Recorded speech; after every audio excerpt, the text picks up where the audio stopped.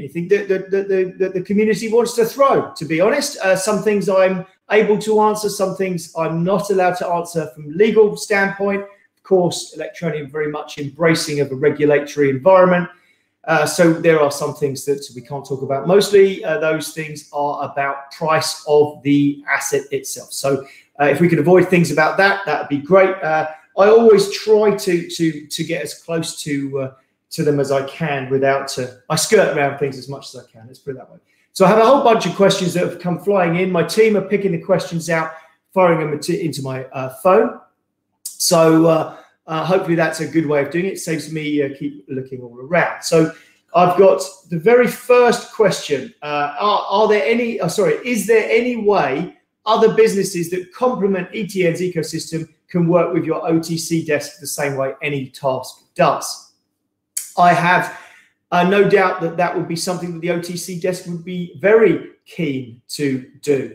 Uh, ultimately, uh, the OTC desk themselves are, of course, a profit-making entity. They're not. They're nothing to do with us. We we don't make any margin from them or anything. They are a completely separate business. They do OTC trade. Sorry, that's over-the-counter trade for those who are, uh, are not uh, into that term. So this uh, people will go to an exchange and make uh, trades themselves, or you can go to an OTC desk who would do it for you. They are normally used uh, for large buyers and large sellers because they will break orders into smaller parts across multiple exchanges and do your work for you.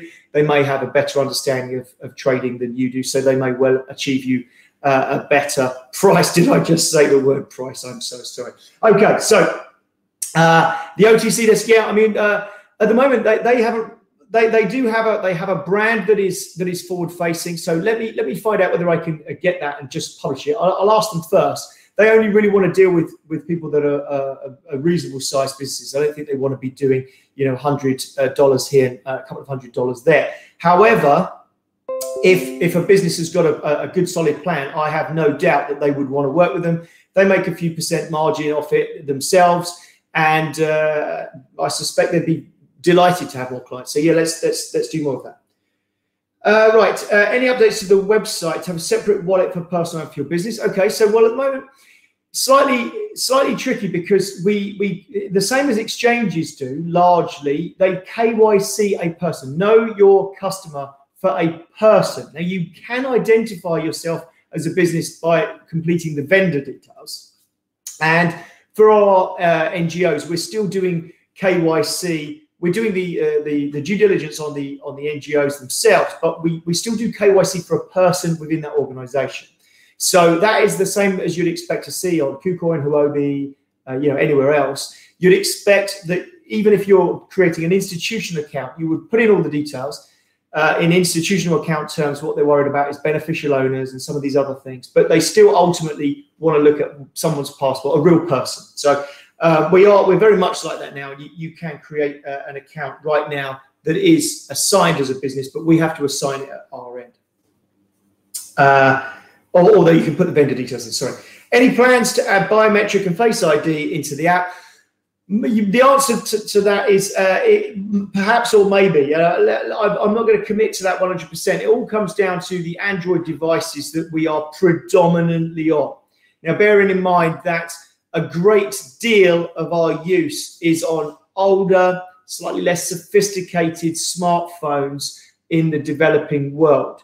Um, I understand that you know a lot of our community have got a shiny iPhone, uh, but uh, or, or, or, a top of the range you know Galaxy. But um, as that as that technology starts to become slightly older and and more available to our target audience, then then yeah, I think that we would definitely be um, incorporating it.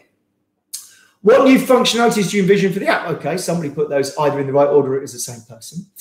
Uh, that's a really great question. So we've got lots of exciting ideas for our app.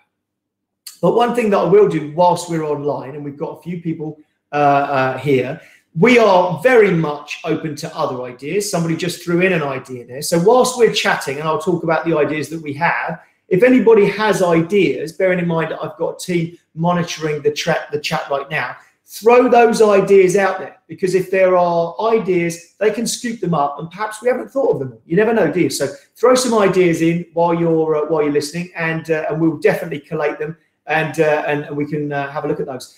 But there are a few things that uh, that we're definitely definitely doing. So we're, we're creating a uh, a, a, little directory contact list sort of thing within within the app to enable you to name accounts. It's quite tricky at the moment. Um, it's all right if you scan the QR code if you're physically next to somebody. That's great because you can still scan their QR code.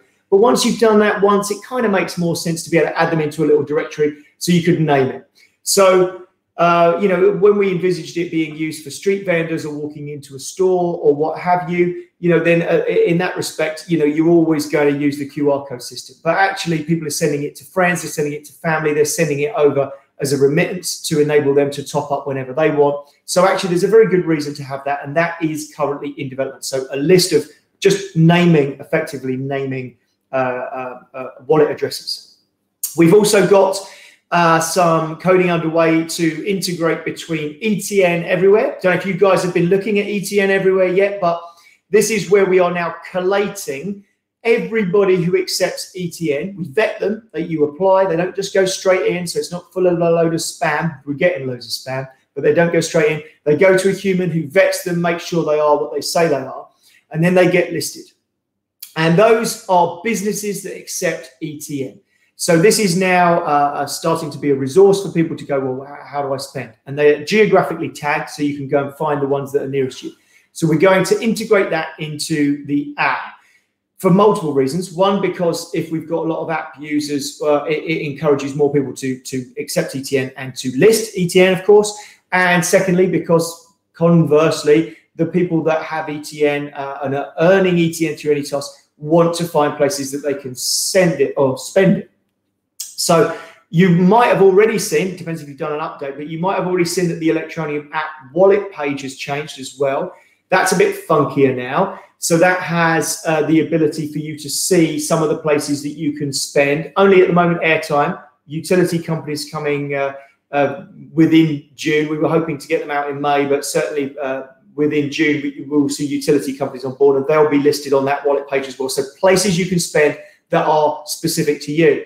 So if you go into that and you're sitting in the UK or, or sitting in Spain, you'll get a different list to, uh, to, to, to everyone. You know, you, you get what it's available to spend for you. So a closer integration to ETN everywhere, that's definitely coming. And some of the fun things that we can do with geolocation could be very cool. So if we can geolocate, then we could say, oh, you're near somewhere that accepts ETN. So maybe we can get a little bit of uh, proximity uh, uh, tagging going on. So I think there's some, some quite fun things we can do there and some useful things. But but meanwhile, uh, I've, I've, spent so long on this question that people are waving at me. But so so please get me some more ideas out. Maybe maybe we'll come back to that um, uh, as we go on.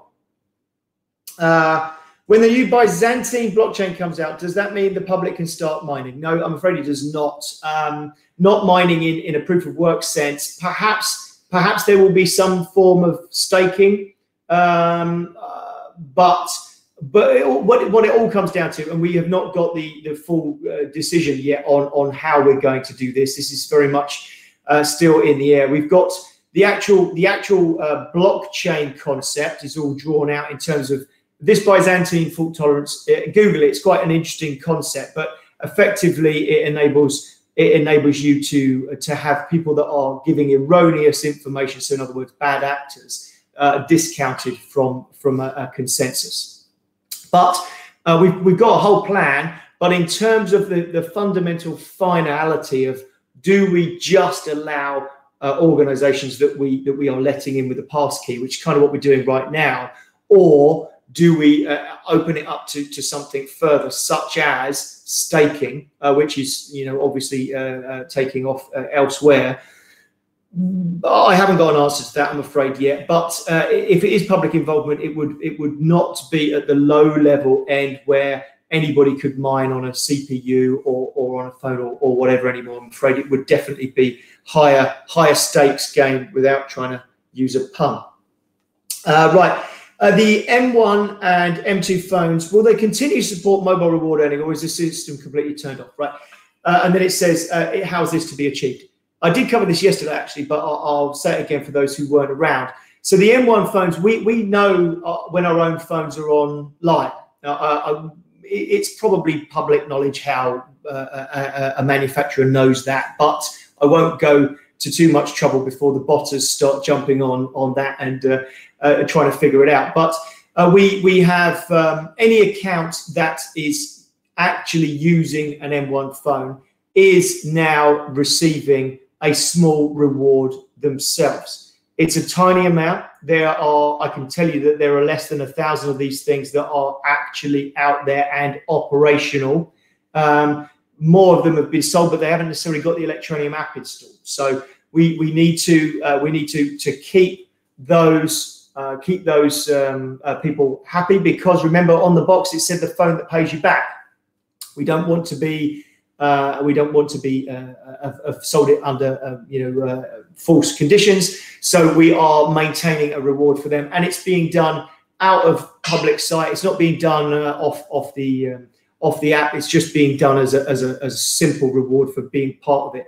And we're communicating with those people separately. Oh, been logged out. Here we go. Uh, so uh, how does Richard, oh, how Richard Ells strikes an effective work-life balance? Uh, well, it's better. It's been better, slightly better actually. I've seen my children a lot more since we've been locked down. So I always used to get home late uh, and leave early and not see my children anywhere near enough. It's been an absolute pleasure to see them, even though they're moaning often uh, and to see my wife more, which is a pleasure. So uh, I think uh, one of the one of the benefits perhaps we we've all had um, from from having this strange lockdown is that actually we, we you know what we see our loved ones a lot more. So uh, we need to embrace that and and think the world is in a crazy place, and you know none of us wish for this. Of course, we all want to uh, to solve the problem, but but we also also do need to look at that work life balance and and how we strike it uh, I think um, uh, it's been it's been a pleasure to see more of them. So uh, I don't know how I strike it in the future, but I definitely need to. Uh, you uh, mentioned Dash yesterday. Do you believe we have as much real world use as Dash? Well, I, I, I, absolutely know that we do. In fact, I, I, will go so far as to say I'm very confident that we have more real world use than Dash. So, and again, don't don't get me wrong. I'm not slagging off the Dash project. I love the Dash project, and there is there is plenty of room in the developing world for competing projects if we are competing. We are all, you know, 1.7 billion people. Uh, there's us talking about 100,000 or 120,000 top ups of, of airtime and 270,000 plus uh, or 280,000 or whatever it is now app to app transfers. These are still tiny numbers in 1.7 billion people. So uh, I'm not afraid of being in a market with, with any other number of players. It's good for the public, it's good for the businesses. But uh, I'm very, very confident that we have more real world use than, than Dash. Um, but uh, but they're a great project as well. So please don't think that I'm saying anything bad about them. Uh, why doesn't AnyTask accept ETN for payment? That's a great question. I mean, here we are trying to talk about getting more places to accept ETN and yet AnyTask doesn't take ETN. That sounds like a very strange scenario, doesn't it? And and it is from outside, but I'll explain it. I'll explain it fairly quickly. Uh, and first of all, I'll start by saying at some stage we will accept ETN for payment. Uh, we, we definitely need to tie it in to our KYC system. Uh, and that is because we've done this, we've done this thing uh, fairly fairly clever thing from a, from a company structure point of view that AnyTask limited bizarrely enough has nothing to do with crypto. Doesn't touch crypto. And that enables us to have a banking relationship. And we have another company that that we buy services from with fiat and that touches crypto so it has a worse banking relationship. But that doesn't matter because we've got a relationship the otc desk who have banking facilities. So we've got this bit of a silly dance going on. It's all because of the banks. I'll, I'll, I'll, just lay it out there. The banks, I do have an issue with. Banks hate crypto. I can't imagine why that is. Let's have a little think about it. Why would banks dislike it? You know why, right? But banks are seeing the writing on the wall. They're all struggling to come up with their own cryptocurrency solutions. They're all coming up with the ideas of, of how they could have a digital currency themselves. But Unfortunately, they should be embracing projects such as ourselves. We've got KYC, we're under uh, uh, and embracing a, a regulatory environment, and yet we are lumped in with every other crypto project out there, and uh, and it's grossly unfair. It will change. It's already starting to change. You're already starting to see those changes happen. So, uh, so to, to, to cut a, a, fairly long story as short as I can, what we've done is we've managed to get this great banking relationship and we've got fiat money coming in for the purchases. Now, this is really important anyway. I mean, you're all part of the ETN community. And so what you have to think about is that's new money coming in to crypto and they don't even realize that they're buying crypto because they're not, they're buying a service. So that service is being bought with fiat. So this is a new pathway of fiat money into what ultimately ends up being ETN purchases because ETN is used to remit the value from one person to another via this fairly complex, com complex system of contracts and, and companies. But that's that's why we haven't done it straight off the bat because we needed to get it live. And of course, the other reason, uh, just because we need this to be big. We need we need not not 100 buyers or 200 buyers or a thousand buyers. We need tens of thousands of buyers. And if you look at the likes of Fiverr, for instance, who's got literally millions of buyers. So we, we can definitely achieve these tens of thousands of buyers. But can, could we achieve tens of thousands of buyers if, if let's say they're digital agencies in England, digital agencies in, in Australia or, or in uh, South America or North America, wherever these digital agencies are that buy lots of little bits of digital video editing or whatever, could we have convinced them to go and open an exchange account, then buy some Bitcoin and then transfer it into ETN and then take the ETN into a wallet and then buy $3 worth of, of services. They wouldn't have done it. They just wouldn't have done it. I know this. Once we get them on board, remember that we we're taking them on a little journey. They bought something. How did I do that? What? The person's got paid in crypto. Well, I, I'd heard of crypto, but I thought it was all nonsense.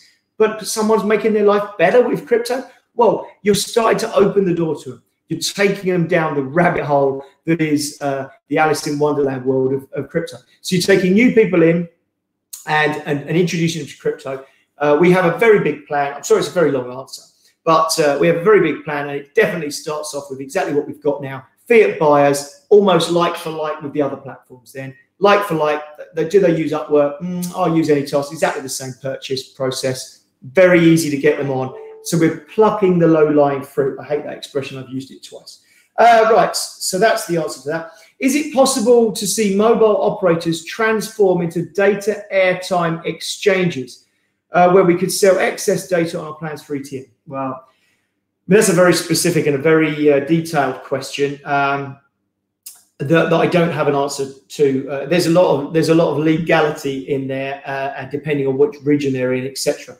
Is, is it possible? It is possible. Do we have anything? I, I have. I, I, literally, I'm not even having those conversations right now. So much as I will always tell you, if I if I'm having conversations with people, I'll say it. It might not ever lead anywhere, but I'm always having. But this one, I'm not even having the conversation. So it's a great idea, like the concept, but but at the moment, it's it's it's not on the radar. I'm afraid to say. Will Electroneum have agents where ETN can be bought and sold locally? Now, once again, this is a slightly dangerous uh, uh, thing because we started to talk about buying locally, which almost certainly means fiat, which probably means I shouldn't even be talking about it. But what I can say is that that is is already taking place. People, I, I know that that this already exists. Now, the difficulty we have is that if we promote it as a business, is if Electroneum promotes that, then we are a money transfer agent and we don't deal in money and uh, and at the moment we are not regulated to deal in money. We are we we are definitely under the uh, the uh, umbrella of the regulatory environment for cryptocurrency, which is not money. As soon as you start talking about fiat and the transfer into fiat, you become a money transfer agent. That's not to say I'm ruling that out because I absolutely am not, and those conversations very much are taking place. Uh, and we're, we're, are we able to to create that? We, you will very much see it. So it, it's on my radar very difficult thing for me to talk about, but uh, we are very aware of, of the benefits that, that Electroneum can have if it ends up in fiat. And I know that it takes place, but we are not able to promote that or, or facilitate it directly at this stage. Uh, uh, any incentives for using ETN to pay for utility bills or top ups? Oh, I see. Sorry, I understand the question. Sorry, I misunderstood. So, with any incentives for using ETN to pay for utility bills or top ups, it seems a bit more expensive making such payments with ETN compared to using fiat.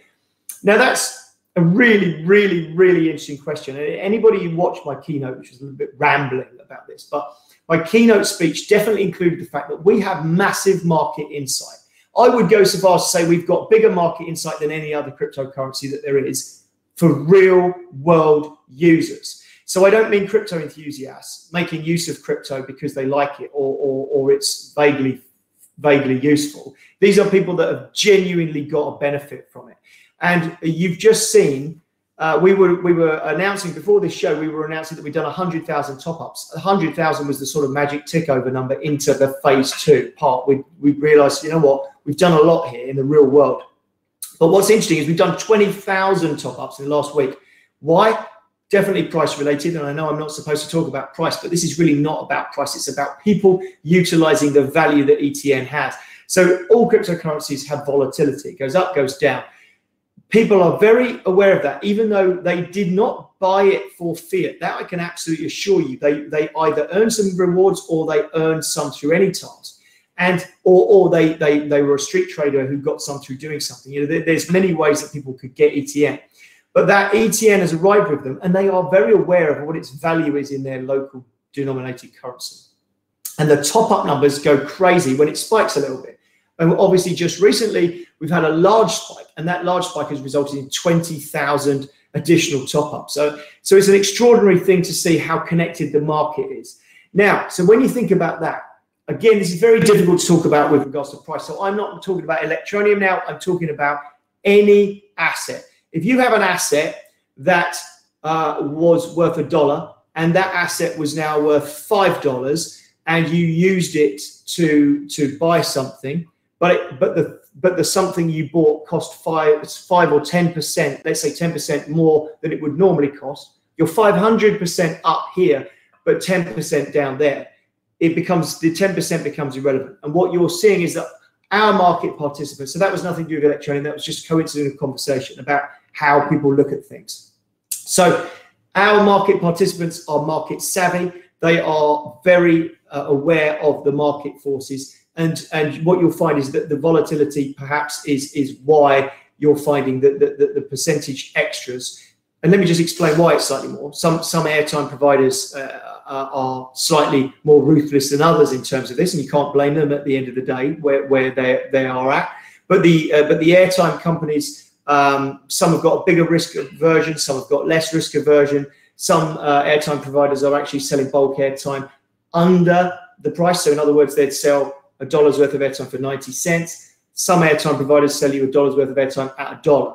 Now, if they sell you a dollar's worth of airtime at a dollar, it's physically impossible to, to sell it for a dollar because the OTC desk who's got involved in this and is facilitating this has to make margin. They have to do that.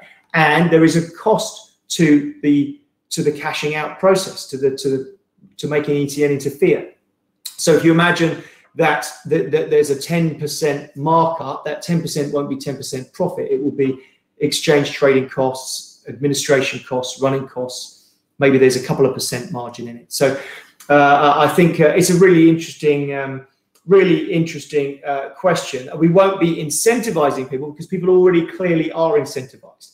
Bear in mind, I, I, think I'm probably safe to say that if, if we're not the largest a cryptocurrency uh, airtime top up in the world, we are certainly uh, a whisker off Bitcoin and ETH. Bitcoin and ETH may have been used in, in, in other places. I do know that there are other airtime top up facilities. I don't know what they turn over, so I couldn't tell you whether they've taken more Bitcoin and ETH over the years that they've been doing it.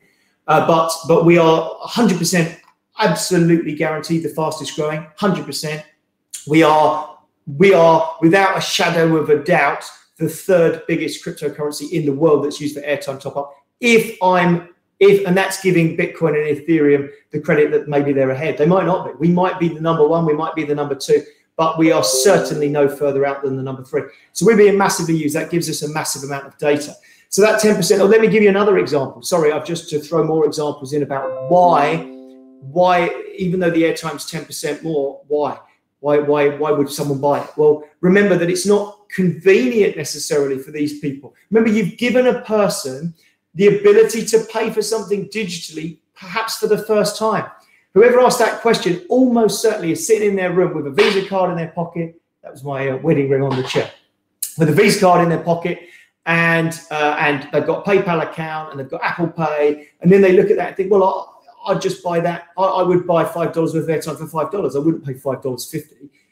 But what you've got to do is you've got to put yourself into a village where that's not where you buy airtime. You get on your bike and you ride for 15 miles to the to the town where you hand over your fiat currency for a top up voucher, a scratch card. You scratch that off and you enter it in as a text message and you top up your phone.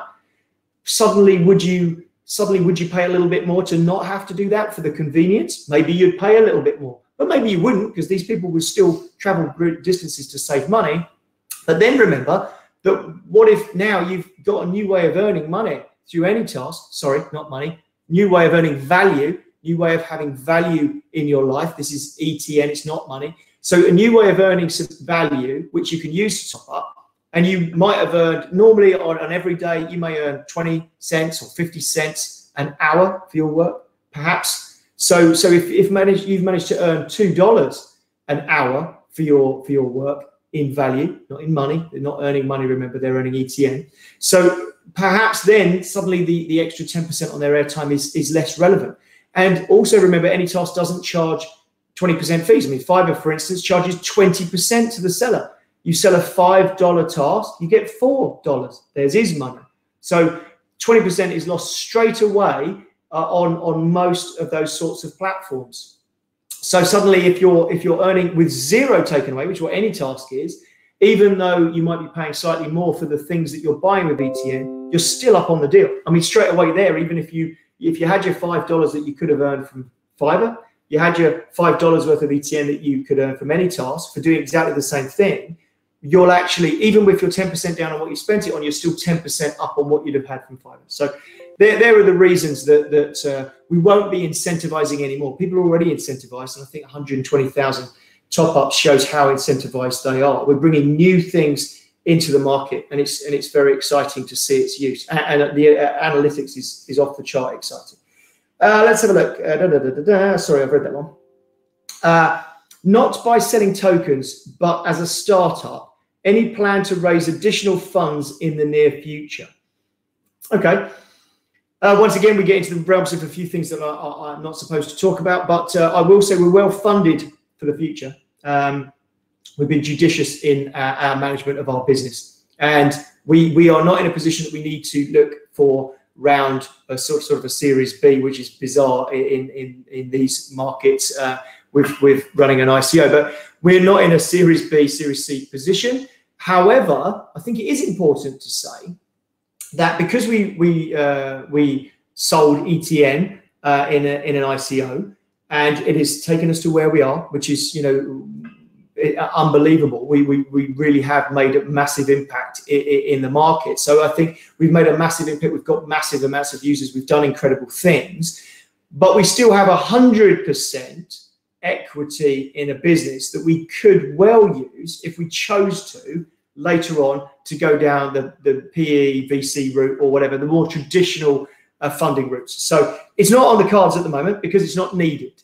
Uh, if if expansion required 300 million to to to create infrastructure throughout the world or throughout Southeast Asia or throughout Africa, wherever it was needed, then clearly we we would need uh, additional funds, and those additional funds would be sought through more conventional means. So it's not on my radar right now, but uh, but certainly the the option would be open to us, which which is always good. Uh, will there be a desktop version of, the, of Electroneum which we could mine? Uh, I think I've sort of covered that already. No, there, there, there, won't be. There's no real there's no real public mining. Uh, I'm afraid. I, I wish I wish that there was, but mining with proof of work is is open to such massive abuse. And there's a there's a site I think it's called. Um, uh, Crypto 51. Someone get someone, one of our team will post it on there, I'm sure, one of you guys can post it. It's a it's a site that lists how cheap it is to 51% attack other people's projects. We used to be on there and it used to say that it would cost, I don't know, $10,000 to 51% attack Electroneum, albeit um, uh, the, the, uh, the hashing power wasn't available to attack us because we have massive hashing power. But if you look at some of the other projects, it says $80 to, to 51% attack that cryptocurrency. And then you look and it says hashing power available 100%. So you could go to somewhere like NiceHash and just buy hashing power for a few hours. And if you were skilled enough and technical enough, you, you could attack that currency. And it goes on all the time. So it's, it's slightly terrifying. And the less technical product projects might not even realize it's taken place. So it's um, it's a slightly scary thing. So uh, we we we made moves to protect our blockchain, which is protecting our users. Ultimately, everybody who's involved in Electroneum has to be protected with by the best possible means that we can, by every means that we can. And so, so when, when we see that, uh, that, that, that, at one point we had more than 50% of our hashing power was with one pool. I think at one point they went up to 70% of the hashing power was with one pool. That was a known pool, and the, the you know the guys that run that pool are honest businessmen. So we, we, we weren't in danger per se, but fundamentally, fundamentally, sorry, mathematically, we were in danger. You know, you, you shouldn't have that much power in one in the hands of one entity. So uh, uh, yeah, that's why we that's why we moved to where we are. Proof of responsibility. You know, I'm really pleased that we moved that way because it's given us such such room to, to do the great things on the ground that we're doing. But no, we're not going to have a desktop miner. Sorry, these answers. I answer things in depth, don't I? Too much, perhaps. Should have just said no. Okay. I've heard from many who previously abused now obsolete mobile reward system that their wallets are suspended with all their coins. Playing with those coins. Ah, right. Yeah. Okay. So, and there are a lot of these. Uh, it'd be nice actually to, to do a, a, an audit of this and publish it. I have no issue at all with it, and it might be 800,000 accounts or something. You know, we, we, we absolutely know we've got millions of users, but I, I want to be completely straight about the fact that there are some bots in there. So let's let's dig them out, find out how many are locked, and just publish it so that the, the number is out there. And it is it is certainly tens of thousands, perhaps hundreds of thousands of locked accounts. Now, from a legal point of view, very, very, very dodgy uh, this is value that, that was created and sent to somebody. My lawyers would freak out if we did anything with it, quite frankly. It sits there. You can consider those coins locked and unspendable by anybody, unspendable by us, unspendable by them.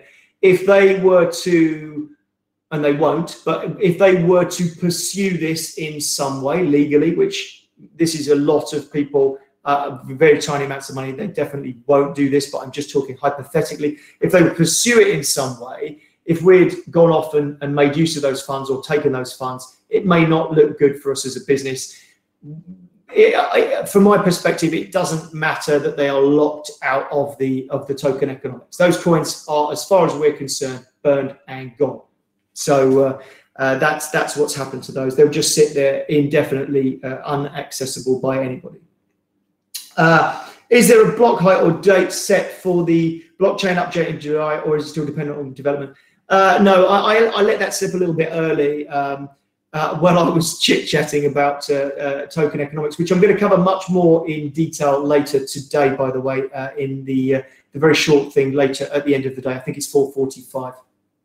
so um, that.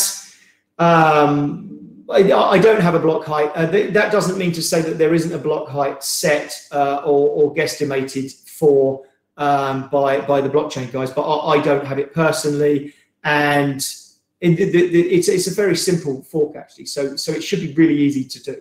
We are merely uh, changing to uh, a, a, a, lower block reward. We're not making any other updates as far as I know. There may be some patches or something. I'm not sure. I don't think there is. So change of the change of the block reward should be very, very easy. It will be very visible. You'll be able to see the block reward change. Every block's block reward is shown on blockexplorer.electroneum.com. Uh, so you can see it. It's running out around 1700 ETN per block at the moment. And I'll explain more about what we're doing with that later on today.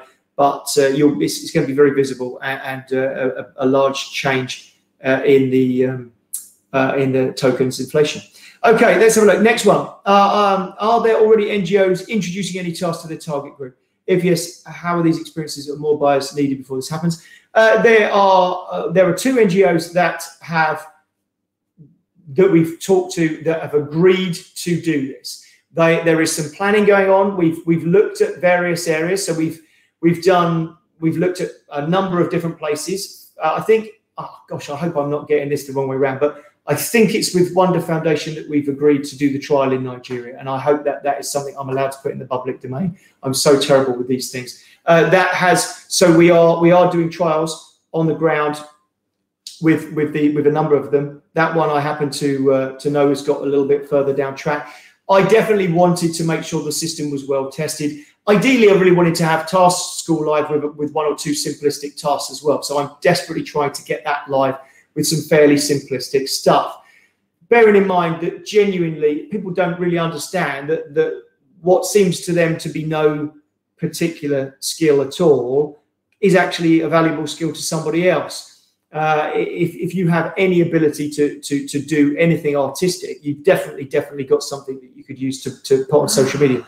You know, every single social media place in the world. Sorry, I've got some huffing and puffing going on over there. I thought it was aimed at me. Every single uh, uh social media account in the world um, uh, needs needs content, and so anybody that can create social media content can sell it on AnyTask, but we do need to have a lot of buyers in there, which we're getting more and more of all the time.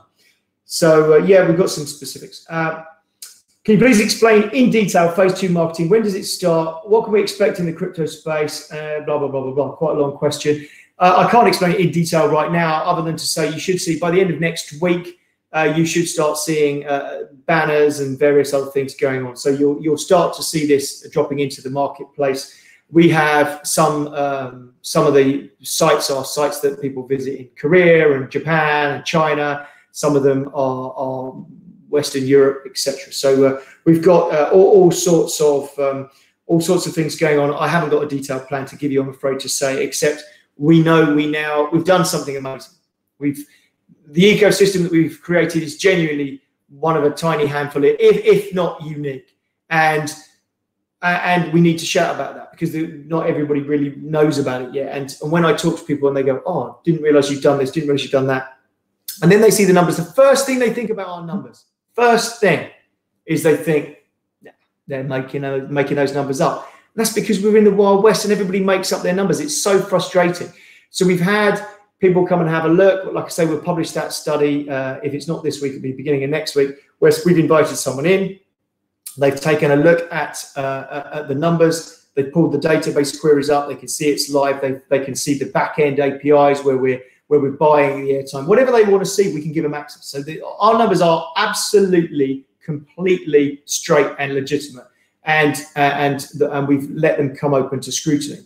We've sent more people to, to this event than anybody else. So any nobody else sent as many people to this event we've had, the Electroneum community has had bigger viewing figures than everybody else. So everybody else. So you can read into that what you like. But we'll get. I, I want those figures to get published. I'm not sure whether they'd want to publish them, but uh, I, will try and get those figures published so you can see the impact that Electroneum has is is huge. So uh, more people need to know about it, and we're on it.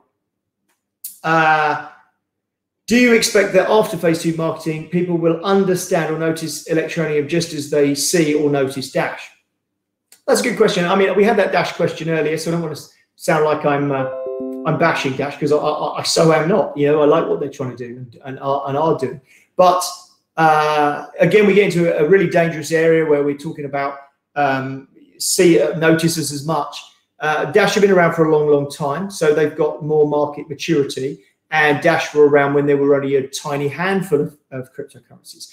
What I can say is that if people look at, you know, people scan their eyes over the top 20 cryptocurrencies, we are a top 10, top 20 cryptocurrency all day long by real world results. And do people need to know that that's the case? We're a top five cryptocurrency by real world results. So people need to understand that. I can't draw the parallel about uh, whether they'll notice as, as much as Dash.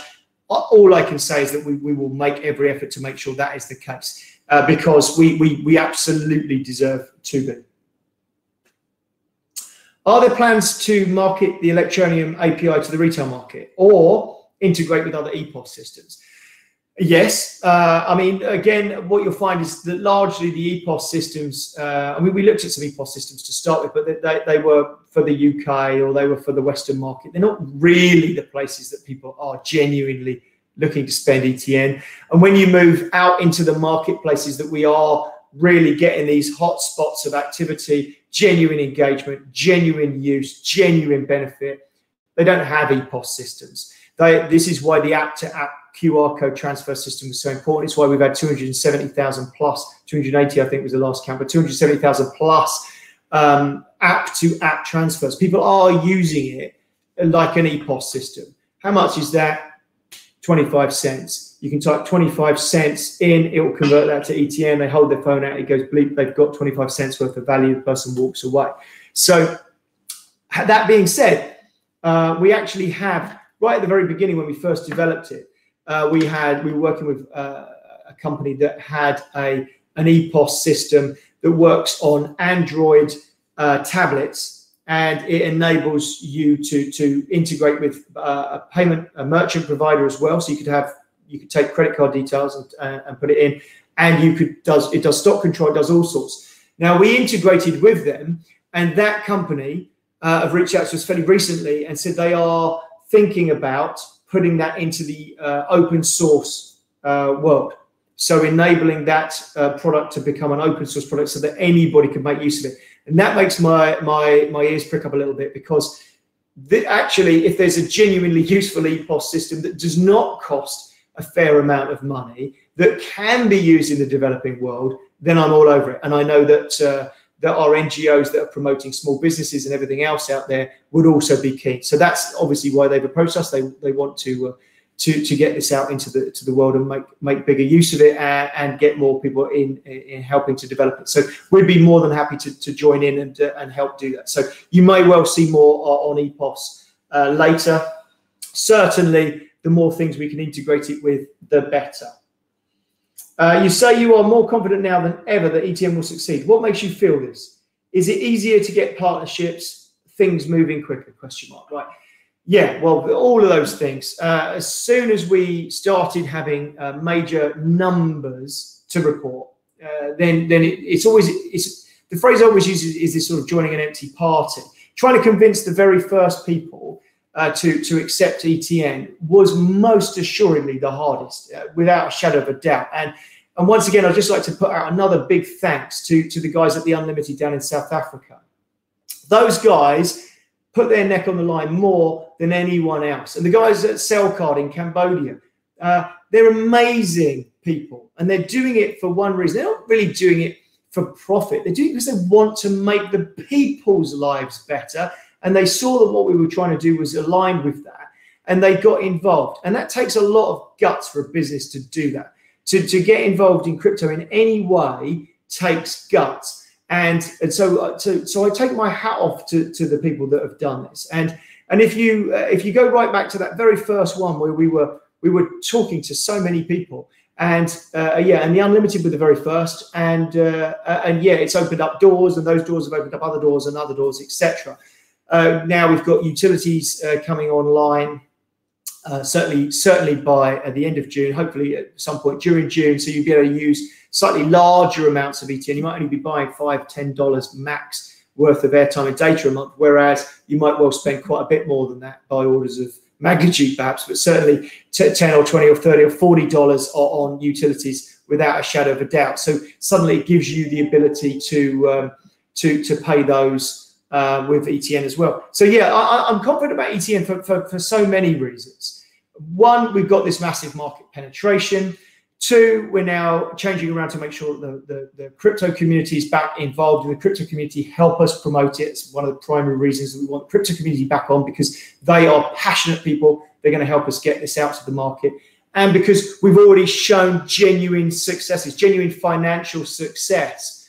You know, if uh, if you do 20,000 top ups in a week, airtime companies, uh, you know, their, their, ears prick up too, because because actually uh, it's been de-risked for them by, by the OTC desk, so that they're not they're not exposing themselves to cryptocurrency risk. It's, it's upside all the way for them. So yeah, we are we we're definitely definitely going to uh, to, to move more quickly and, uh, and, and have better things going on. Right. Uh, oh, okay. I'm, I can not answer that question. Sorry, that was a, a, financial one that I definitely couldn't answer. Uh, beyond uh, what was announced yesterday, can you give us any further information about what is planned for phase two or anything you'd love to see? Um, I sort of have already a little bit, and I've covered ETN everywhere and ETN donate and task schools coming along uh, advertising and uh, and bringing back the crypto community, uh, bigger pushes uh, into into more adoption into a wider way. Uh, I'm going to cover this. I've got 10 minutes or 12 minutes later on to, to, to try and encapsulate what phase two is and token economics and all sorts. I'm going to try and get that into my 12 minute slot later, or maybe it's 10 minutes. but so so it's it's quite a long thing. But I think you've probably already got the idea. We've built this ecosystem.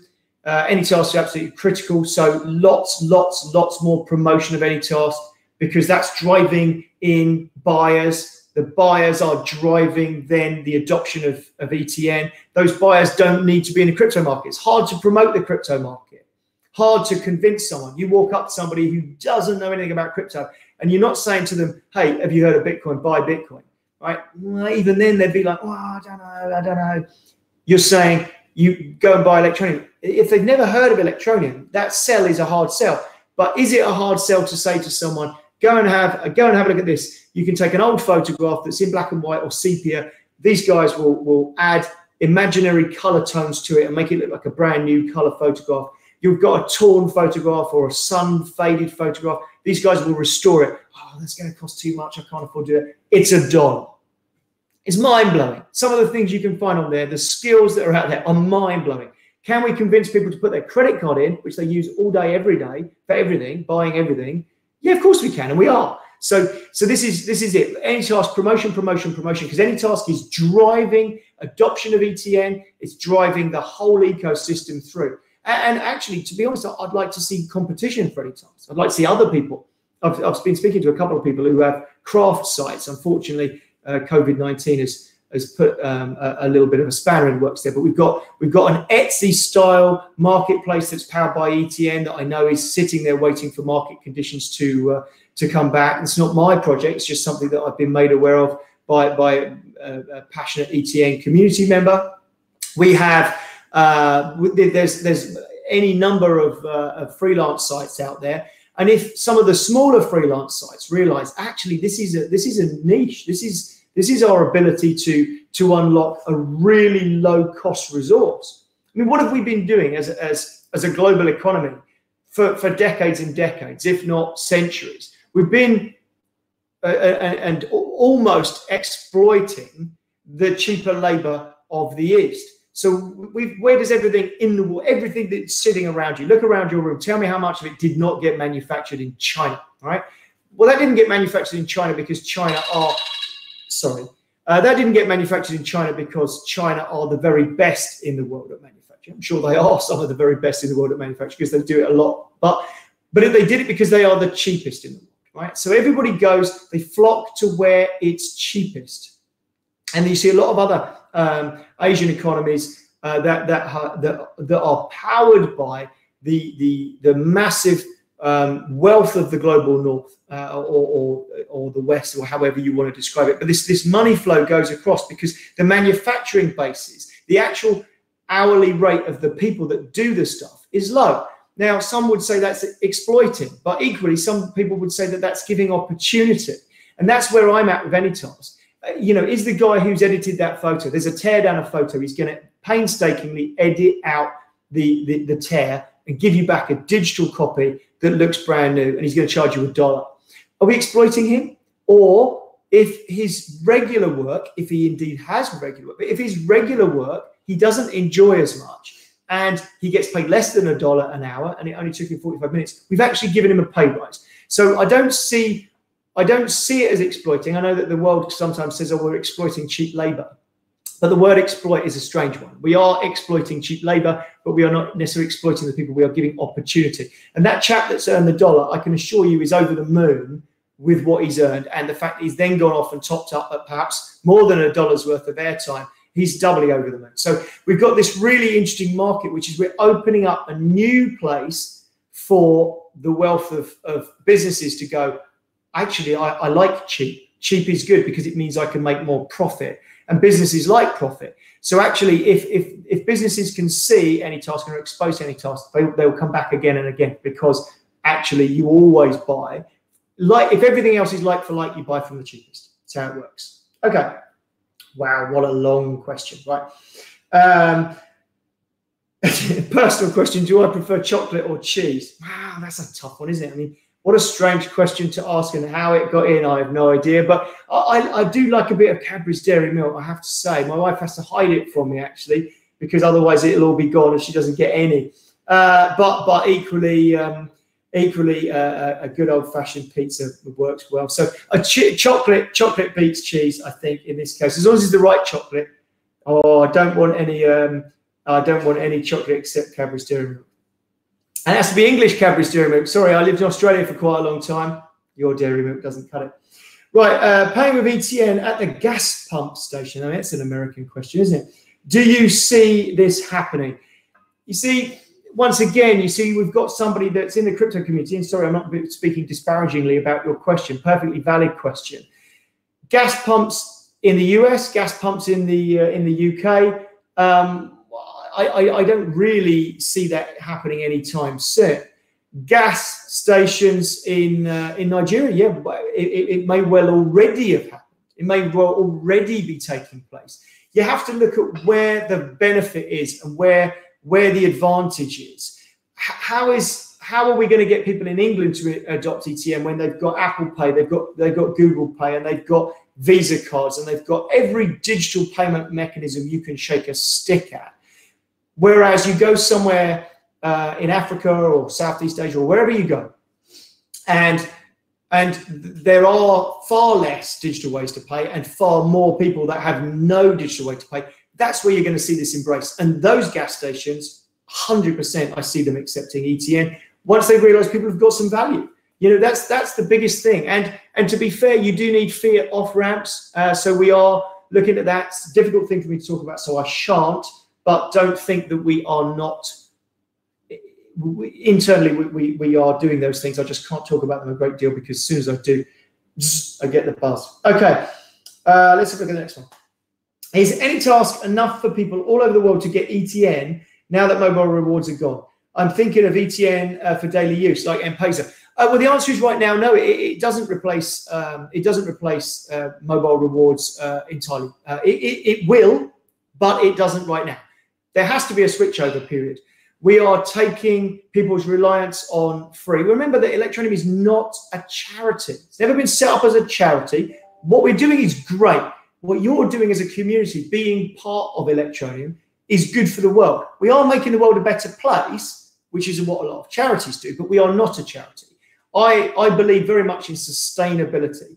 And I believe that if you get a business model right, so the business works as a business, so it can afford to employ the employees and it can afford to do the things and pay the rent, pay whatever bills are required. If the administrative costs of the business are covered and a little bit of profit, and you still do good, that's what Electroneum is. Now, we're not in that profit stage yet, as I covered yesterday, but everything is geared up in this business to enable Electroneum to make a profit.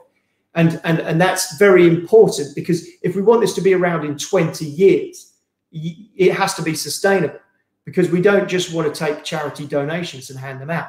And that's what ETN Reward has been it's been a little bit of a handout. Now, it's been a handout for a good reason. I said yesterday it's like handing out free samples. You walk into a supermarket, they've got cheese on a stick or a packet of little peanuts or some some uh, some rice crackers or whatever they're giving away that's that, that you can try. Oh, I quite like that. Now, you didn't have to pay for that rice cracker, but they're not going to give you, they're not going to come out and give you all the rice crackers you ever want to eat. They've just tempted you. And that's what we've done with ETN Rewards. We had to keep it running in the way that it ran to tempt people. And it's most certainly done that. It's brought in massive user base with massive transaction volumes. Those transaction volumes will fall for a while, 100%. But but we know that the interaction between between people that's still going to go on. And, and now what will happen is the, the data internally will be far, far, far more, um, far, far, far more valuable to us because what we'll be seeing is we'll be seeing real world use of crypto that's actually being earned and transmitted around and less of the freebies being passed about to, to do something. So, so we're taking, we know absolutely that ETN has been embraced as a value and as something that can genuinely uh, give, uh, give benefit. We know it's been embraced for that. We know from the thousands, we've had hundreds of thousands of people log into AnyTask, hundreds of thousands. We've had now, I don't know if we're over 4,000 yet, but we, we've had another at least a thousand tasks listed. We've got thousands and thousands of people looking to sell their tasks. They are going to be our core group, and we're going to see it expand as we work on the ground. But we had quarter of a million people getting handouts. But but you genuinely need to think about this as, as a um, as a concept. What do we want as a project? Do we want high token inflation, lots of people using Electroneum, and and and and, a, and a, eventually you run out, and uh, and that's that's we, we come to the end with no real understanding of what's going to happen, or would you rather we manage things and then we understand exactly what the future is going to bring? And we understand exactly where we've got hotspots of use, and we drive those forwards. And we've I, I, think that you'll be very pleased with what we've got coming but don't think for one minute that 250,000 people are going to suddenly earn their three dollars through uh, through AnyTask uh, next month because at the moment there's only three and a half four thousand tasks listed. So you see an awful lot of etn is still being used. Remember if you're that street vendor you didn't get your etn through AnyTask you got your etn through through the the etn being out in the environment so this is the same as fiat money. Fiat money flows around, and if you imagine uh, the, the the the journey of a twenty dollar bill in an economy, it moves around, it moves around. It might never go back to the bank. It might go under a mattress for six months, and that's people who sit on ETN. They've had some rewards, and now they make use of it. It comes out from under the mattress and gets used. That's nothing to do with the, the bank printing more. It's out there, and by pumping this stuff out there we have put it into use, into the real users' hands that are genuinely passing it about. So we're still going to see much bigger use than just those 3,000 people on AnyTask. Any task doesn't suddenly mean everything that, that happens on Electroneum passes to AnyTask. That's far from it. What AnyTask is doing is bringing in a new fiat input into the system, which is going to be able to be taken a profit from later on, etc., etc. So uh, it's going to be an interesting time to watch, but the data is going to become so valuable to us and, uh, and, and a very exciting place. This year is going to be a really exciting year for us. Let's have a look at the next one. Although secure, there have been concerns regarding how reliant the blockchain is on Electroneum to run. Do you have any plans to make it more decentralized? Well, first of all, I, I, it's really, really, really critical that you understand that our blockchain is safer than a lot of decentralized blockchains. Now, it might not be, well, no, sorry, it's, it's just as safe as Bitcoin, just as safe. Cross my heart, it's just as safe. Is it just as safe as uh, as some of the top 20 below? No, it's more safe, much, much, much more safe. You look at most proof of work coins that are outside the top 20, they are super danger. And if you go and have a look, like I say, look at that, uh, look at that website. Crypto, I think it's called crypto51.app or something like that. Shows you how easy it is to attack these things. We are our blockchain is super safe, uses up hardly any electricity. But to, to come on to the next part, which is have you any plans to make it more decentralized? I do like the idea. You know, I, I'm a crypto guy.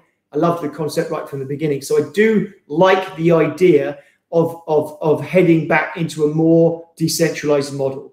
But the more decentralized model has to be absolutely as safe as it is now because we we cannot be 51% attacked. We cannot be. We have spam traps to so that if people create massive spam piles, we can deal with it. We can do stuff that other blockchain projects cannot do. So if somebody makes a consented attack on a lot of other cryptocurrency projects, they will be in trouble. At the moment, touch wood, we've got this moderated layer. Yes, sure, it is a centralized moderated layer, but the, the validators that are distributed are, are able to handle these things and we are able to protect the network. And so protection and security, massively important to us. And uh, as long as we're not compromising that, then yes, I would very much like to do that. It is important for me to point out that whilst we are, whilst we have centralized the word decentralized, I, have sometimes said we've got a decentralized layer. And, and some people in crypto don't like me saying that. So I, I will add that that's just as easily described as a distributed layer. It's globally distributed. Our ledger is globally distributed and held by completely anonymous people. I don't know all the people that own a copy of the blockchain. And it's really important. We have this Meteor feature on our GitHub. If there was a cataclysmic event uh, that, that took out the central authority, took out us, the meteor feature. It's called this because if a meteorite strikes Maidstone and takes us all out, what would happen to the ETN? Well, the, the, the answer is that ETN would continue because of the meteor feature, uh, feature and because of the distributed nature of our blockchain. So we are not like a fully centralized project. So even though we have fully centralized issuance of a validating IDs, so so these keys that enable validators to operate. That's fully centralized.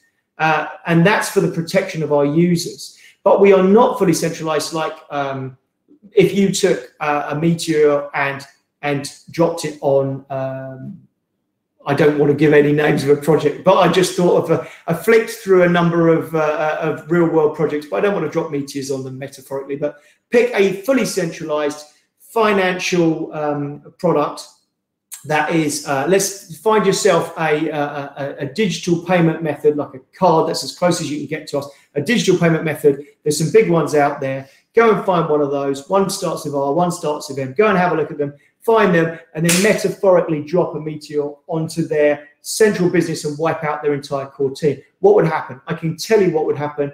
It would disappear. All value in there would go into the hands of an administrator somewhere and everybody would face an absolute loss. That is definitely what would happen. Now, that is not what would happen with ETN. We would rise out of the ashes like a phoenix based on a meteor feature. So we are not fully centralized. So, but we, but we definitely have some centralized features. Okay. Will you open ETN rewards uh, for when entering new markets or countries just for that specific market? Well, the answer is yes. There, we we we've got these the, the things that we do with NGOs will definitely be featured around localized rewards, and we will be introducing Electroneum, introducing Task School, introducing AnyTask into incentivized programs in smaller hotspots. We'll get these hotspots going. These, excuse me, these people have uh, families and friends. And as you start to see use and value being used, remember that virtually everyone in the world now has the ability to top up and that gives people real world value. So as these as these uh, hotspots start to expand out, and the ETN that's there starts to get distributed further out, maybe a street vendor starts taking some, and they were outside of the NGO project. Now a shopkeeper starts, and what can they do with it? Well, they can actually sell airtime themselves if they wanted to, because they could now pay in ETN for that airtime, so they can collect some ETN from the users, pay for some airtime. They could sell that airtime themselves by typing in the phone number of the person. They can do all sorts, so they can monetize it. So uh, I think that probably uh, covers that a little bit, does it? Yeah, yes, we will be using them a little bit for that. But all reward programs are going to be within range of our token inflation uh, figures that I'll talk about further tonight. But everything is always going to happen within that, which is really important for the project. I'll explain that later. Uh, have you considered working with other gig economy infrastructure? Redbubble. Oh, I don't know Redbubble. Um, so be nice to. When I was saying earlier, I, I welcome competition. I mean, in in uh, gig economy terms and freelance economy terms, yeah, cracky. I mean, if if Fiverr came along tomorrow and said, "Oh, we don't really like the fact that you're you're opening up a new market and you're nibbling away at our toes," um, I'm going to start accepting ETN, and that will destroy you or I'm going to start paying out an ETN and that will get rid of AnyTask. Great, go ahead, destroy us. You know, it's not that it would destroy us, but you get the idea, right? If a giant whale comes along and says we're going to start making use of this because because we don't like the fact you're doing it, that'd be absolutely unbelievable, wouldn't it? So yeah, we we can definitely, definitely, definitely welcome in other people. They should have it as a payout option because people are choose people can choose it. They don't have to have it. I mean, with AnyTask, they have to have it. But if you had an option of being paid with PayPal or paid however whatever other methods they have, bank transfer, or being paid in ETN, then uh, then some people would choose it. Uh, and that would give people choice. It would give people another market to sell their skills in, which I would absolutely welcome. And I do think at some point you will see uh, the bigger guys uh, take note. I mean, what's interesting is um, the I think it was about 2015. Uh, Fiverr actually did introduce Bitcoin payout, but um, but they, they shut it back down because it, it wasn't well adopted. But of course, the, the cryptocurrency markets have moved quite a long way since then. One of the big problems you're going to see with the likes of Fiverr um, is that they are a floated listed company. Uh, so so them carrying out their accounts and uh, and working in crypto risks their banking partnerships. You know, I don't think you're going to start seeing them taking it anytime soon. But if we've got smaller people that can see this as an opportunity to grow, bearing in mind, AnyTask has been around such a short amount of time, and yet it's got thousands upon thousands of listed tasks and has had hundreds of thousands of visitors. They'd be crazy not to, to jump in this and and be part of our community, wouldn't they? Um, could a feature be built into the API where a third party can take a fee of a transaction to help boost adoption and interest in ETN? Uh, yes, uh, for, for, some reason, uh, I actually did think that was in our original um, our original specification document. I think we, we took it out because uh, we thought that, um, that that scammers might make use of it uh, because there were so many people scamming in crypto. We suddenly thought, oh no, if we give people the ability to to easily introduce a fee and people see, oh yeah, I'm buying ten dollars worth of something, but actually nine dollars of it was a fee, and they didn't realize. We just thought that there might be some scammers, but actually, if it was managed well, uh, I, I, like the idea of, of, of, it. Of course, there's nothing to stop you doing it right now. Uh, you, you, for instance, if you took the WooCommerce um, plugin, it'd be very easy to to to add something in there that that that added 10%, 5% or whatever to, to the to the ETN fee. Very easy to do. So uh, anybody could do it if they wanted to do it, but uh, but we don't have the facility to for people to just buy that right now. But it'd be great if they could just use it. I don't buy, sorry, use it right now. They, there's no plugin available that does it, as far as I know. But it is actually easy to code. So if anybody wants to do it, find a coder and it'd be easy to do. Right, let's have a quick look. Uh, Richard, do you plan to offer more live sessions like this so the community can stay up to date on the project? Do you know what? Uh, I was just talking about this yesterday, and I think we should. I think we should do, whether it's monthly or maybe we do it every two months or every six weeks or something. But yeah, I think it would be a really good idea. Sometimes we have very little. We've had periods where it seems like very little is happening. Now that's not true. We, we are crazy busy, always, always, always, always crazy busy so sometimes we just don't have anything to update the community with because you know if we we embarked on a software project that's going to take a year to build you know so the update is still building and sometimes i think people sometimes i think people doubt that we are doing what we're saying we're doing you know we're still building but if you go and have a look at AnyTask and how cool it is and it is cool and it is awesome and it works very well on mobile it works well on the desktop and it and it integrates well, and the corporate structure is is excellent, and the and the it, it's all just a very slick thing. And that you don't build something like that fast. So you know we, we set about it, and, and sure we were late on it, and that was my fault. I, I actually outsourced it originally, and uh, uh, and what we got back was we we just we couldn't have been proud of, uh, of what it was when it went out. So we we had to just go. Do you know what? We're going to have to build it with our own internal team. So we, we went off and rebuilt it, which made it much easier, much easier for people to understand, single sign on from the app so that they don't have to have multiple usernames and passwords. All those things got created. And what we ended up with was this really awesome thing. But whenever I say, oh, yeah, look, we're working on that, we are working on it. So it will come out at some stage. And I do apologize that sometimes I'm a little late. But yeah, I like the idea of doing a live session. So I'm going to talk to the team about that and we're going to figure out some sort of software platform. It would be, I personally would prefer it if we can get people to to ask, can I? I mean, it's all right if some people don't want to go on camera, but be really, really nice if we could actually invite some people in and say, well, you can ask questions and we can have little, you know, you have a one minute or two minutes of of one to one with people that are, they're asking the questions they want. You know, the the questions. I, I did ask the guys today to vet some of the questions for for price because yesterday I had to keep skipping past price one. So I have asked them to be vetted a bit, but these questions are not really vetted. I'm just saying, grab the questions, whack them in, and I'll answer them as they come up. So, you know, I don't mind if someone pops in and asks me it directly. If we could avoid talking about price, that would be great. But otherwise, uh, I, am I'm, I'm always up to answer any question. Um, Richard, I want to quit banking. How's ETN going to help me get rid of my bank account, and how long will it take to make it happen?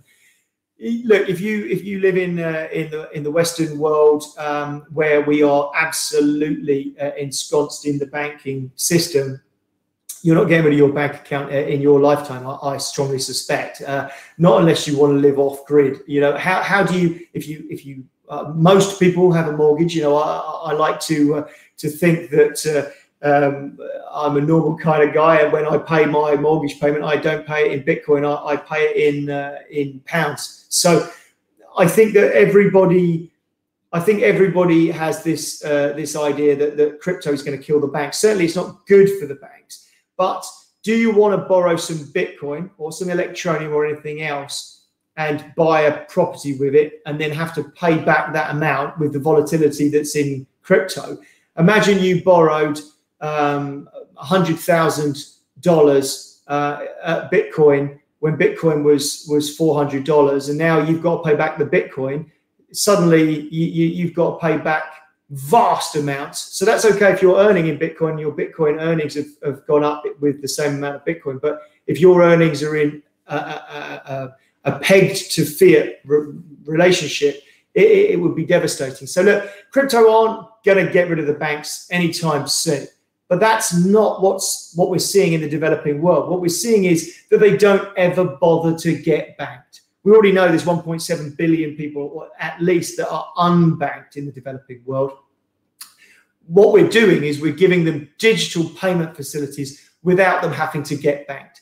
I think unbanking someone is definitely a step too far at this stage. Much as I, I uh, might like the idea of it, most of us need to borrow to be able to buy the big things in our lives. You know, not not many people have the the amount of money it takes to buy a house just sitting around. They they have to borrow, and the banks are the facilitators of that.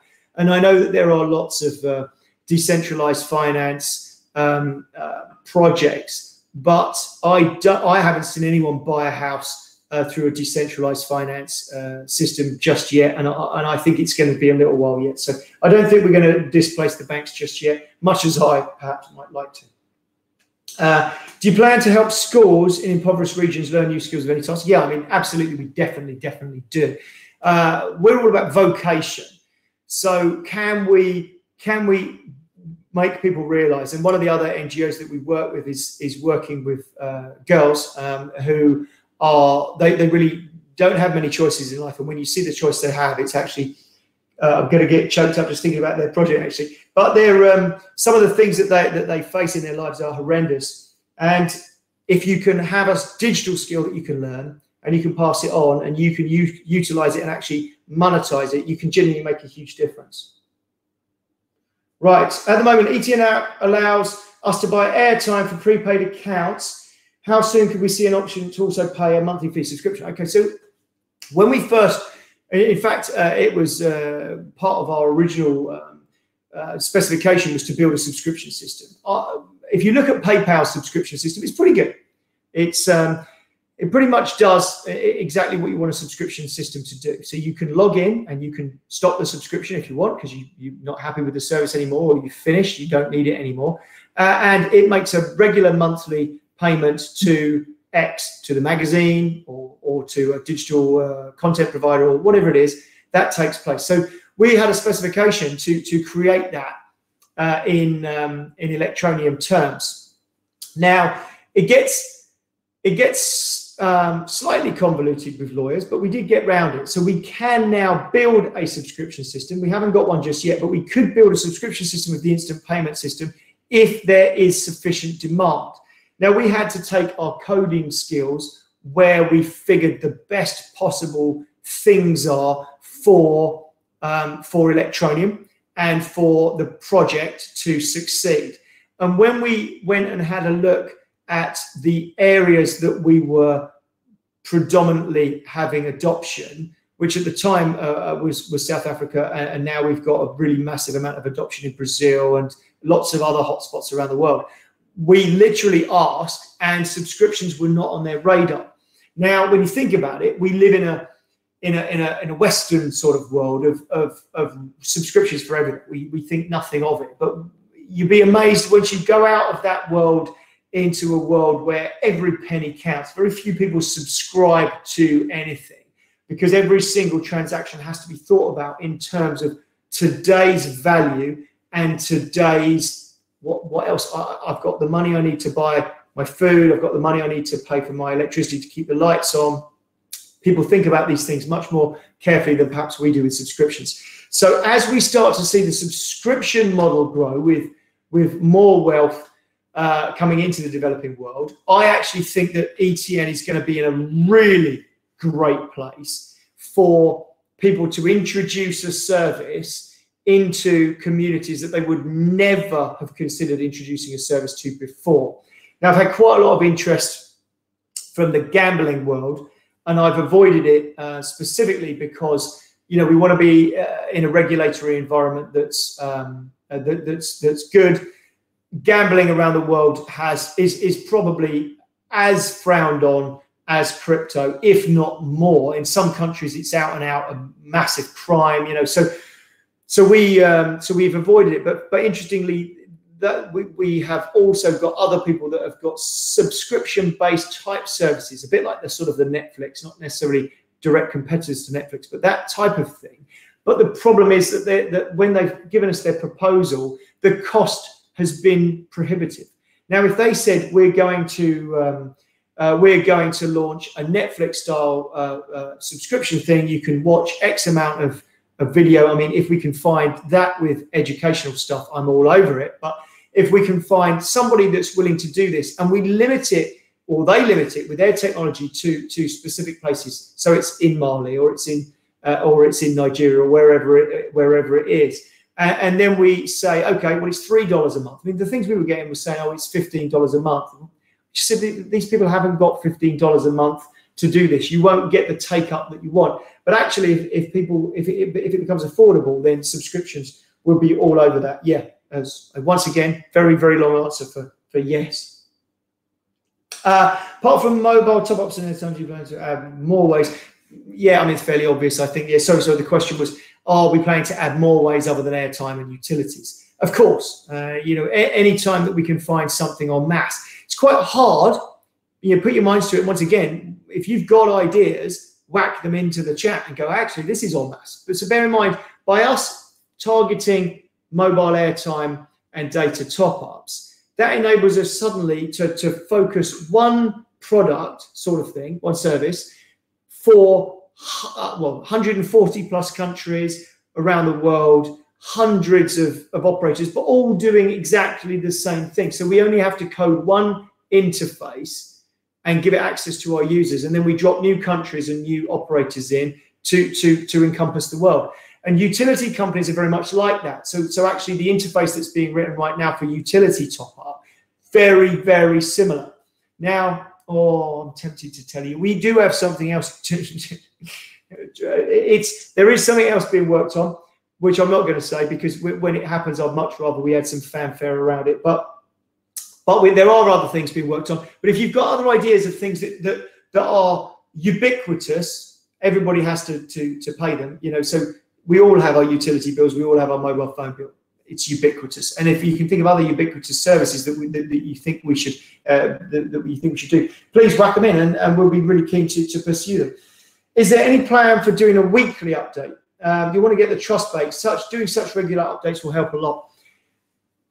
I mean, it's such a difficult thing. Like I say, we, we have weeks where all I can say is we've made more phone calls and the coders have got on with coding. So a weekly update becomes a little bit problematic in that I feel like we we're almost saying, well, it doesn't feel like much has happened. We've, we've got 40, 50 people or whatever doing something and they're busy and they've made things. So you've seen we've built ETN everywhere.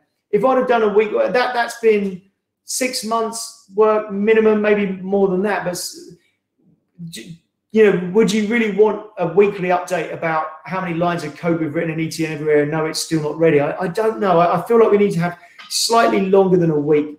I'm thinking more like monthly or every six weeks or something. I think when it says it'll help the trust, I think we should be at a point now where trust is implicit. If we were not who we say we are, if we were not doing what we say we're doing, we would have we wouldn't be here three years later still dropping out significant products and pushing forwards and making amazing things happen. I hope that trust is implicit. You can trust us to deliver because that's what we are doing and we've done it time and time and time again. First for this, first for that, constant firsts in the market, constantly pushing forwards, constantly embracing new things.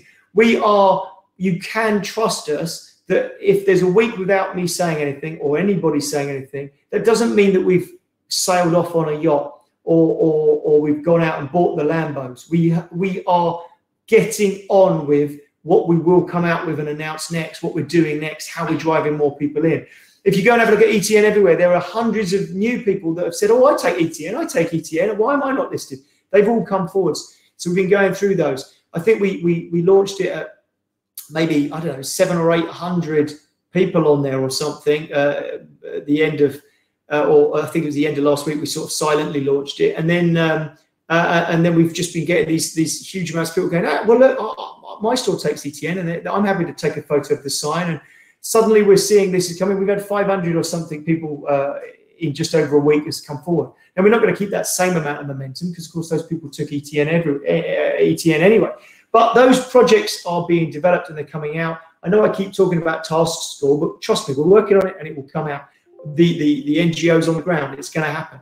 Everything that we talk about always comes out. So please please do trust that, that we are working for the best possible results for Electroneum to gain the maximum momentum, the maximum market penetration, the maximum real world use. Uh, have you thought about reaching out? Hey, funny. Have you thought about reaching out um, to streaming sites like Netflix, Amazon, Apple, etc. Uh, for for uh, subscriptions? Obviously, um, if we could work with the likes of, of Netflix, uh, I think we would love to do so. But I mean, once Netflix hits um, saturation, perhaps there's something we could do. Uh, do I think that we're big enough yet? No, but it's always worth the phone call, right? So uh, I, am more than happy. Our, our, biz dev guys may have already done it actually, but I, I'm more than happy to always reach out and try and start a tentative conversation. What you tend to find is that these things come off the back of somebody already having a little bit of a love affair with crypto. Quite a lot of the people that we've dealt with, um, when you actually manage to open the door, it's because you haven't phoned up somebody that doesn't know anything about crypto. All they know about crypto is that in their head, crypto is that thing that criminals use, isn't it? Do you see that? And, and, and, you'll be amazed how many people of those are still out there that they, they, they're so um, uh, unaware of it. So you've got so many battles to win.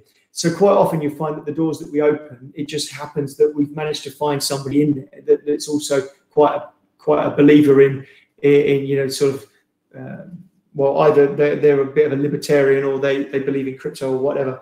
But uh, yeah, look, I'm, I'm more than happy to reach out to Netflix. Uh, would you consider doing joint ventures with Fiverr Upwork? Of course, crikey. Uh, like I said earlier, if somebody from Fiverr Upwork said, look, how would I go about making payouts?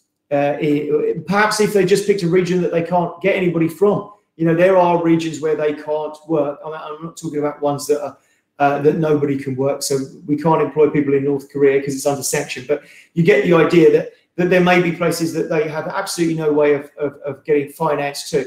There will be African nations, whole nations that, that they can't get money to. So why would they not at least switch ETN on for that place? The answer might well be, like I say, listing. They're under if they're US based, then they're they're under the guises of the SEC, and uh, you know crypto is is still in a strange place uh, in the eyes of the SEC? Can they accept crypto? Do they want to? Will it affect their banking relationships? There's a lot of things to consider. But I would work all day long with any other uh, gig economy sites to, to help them integrate ETN because that's what I want. I want people who have digital skills to be able to tout them on the market. And, and we've built AnyTask because we wanted to show that this isn't a, a pipe dream where we're going to have hundreds of sales, it, it, it can be massive with, with tens of thousands of sales, hundreds of thousands of sales, uh, you know, and then into millions of sales. Uh, that will take a yeah, couple of years to get to that. Uh, okay. Uh, what if there comes a dollar crash, hyperinflation? How will you protect the value of ETN? Okay, well, number one is I can't protect the value of ETN. I can protect the ETN, which is part of security. The value of ETN is the price. I can't talk about the price. So once again, it's a question that's snuck through with price as a back door. But uh, if, if there is hyperinflation, and again, I have to talk in generalities because a price question has got in the door, but in general terms, in hyperinflation, in the Weimar Republic, in Zimbabwe, in uh, Venezuela to a lesser or greater degree. And again, please don't think I'm having a go at the Zimbabwe economy or the Venezuelan economy. It's not my place to do that. But if you are in anywhere where it has high inflation, and a lot of African nations have high inflation, you find that physical assets retain their value. So your grand piano sitting in your posh parlor in your embassy room in um, in one of these countries uh, in the local currency is worth a fortune more than it was yesterday because of hyperinflation. Now, does cryptocurrency fall into that commodity bracket or does it not? This is a much deeper question, but where you enter into is if you are if you if you have no money and you haven't got any food to feed your family, but you have some ETN, you, you better believe that you're going to sell that off as well. Oh, I nearly knocked the laptop on the floor. That would have been the end of that. Um, you, you're going to you're going to sell whatever assets you've got to feed your family, whether that's your Bitcoin, your ETN, or the grand piano in the lobby, or or um, or as it's more likely to be, your uh, you know your your your possessions and your table and you know your bits and pieces. Hyperinflation is a terrible, terrible thing for for economies and for people. So I don't know what would happen if we have hyperinflation. You will find that you would definitely get sell off of, of some assets. Uh, but but whether Bitcoin would follow that market down, and I use Bitcoin as the example specifically, you get the idea. But if Bitcoin would follow the market down, I have no idea, and frankly, I don't think anybody else has any idea either. Uh, all crypto enthusiasts, myself included, would like to think that there is some disassociation from fiat with um, Bitcoin and disassociation from fiat with gold and perhaps an association between cryptocurrencies and them being a commodity more than they are a fiat type money. Certainly, the, the, the supply on cryptos is limited and inflation can be guaranteed by mathematics, unlike fiat currencies. So um, who knows? Long question. Like to chit chat about that, but perhaps not publicly where I'm going to get um, told off by my lawyers. Okay, what if it comes to the South Red Dollar Crush one? Task School, will there be some advanced courses like AI, data science, machine learning, blockchain? No, there won't. No, it's not. It's not for that. Um, it's definitely not for that. It, it, it's for ridiculously basic skills, ridiculously basic skills. There, there might be there may be some skills that are um, middle of the road. So some simplistic uh, tutorials on Photoshop, on using colors, complementary colors, and and doing design work or video editing on. Again, we're probably trying to avoid Photoshop actually whatever free tools are available. What, what free tools are available that people can use? Because they're the type of tools that we'd like to teach people how to use. Photoshop licenses, you know how much they are. Are people using Photoshop? Well, they might be using a hooky copy, if I'm honest, but they're probably not using a legit copy if they are, because it's too much money for, for these people. So we're not we're not trying to make tasks Task School and then teaching about AI. Go off and, and look at Udemy. Go off and, and have a look around if you if you want to do a course on AI, there's some awesome AI courses out there. Um, I started taking one myself actually, and then uh, after the first uh, the first few, my my brain seized up, and uh, uh I, I, think uh, I ended at uh, the vague understanding of a neural net. But once we got into the mathematics and the the heavy coding, I couldn't cope with it. And I am a coder, so but obviously not a very good one. So uh, yeah, go and have a look at those somewhere else. They, they won't be in Task School. We're going, we're to keep that to, to simplistic stuff. So how, how to manage social media for other people, how you can do data mining for other people and, and make it valuable. You know, stuff that people don't realize that they have a skill, and that skill is just their time and access to a computer or even access to a phone, because you can do quite a lot on a phone nowadays. So that's it's, it's going to be low level stuff.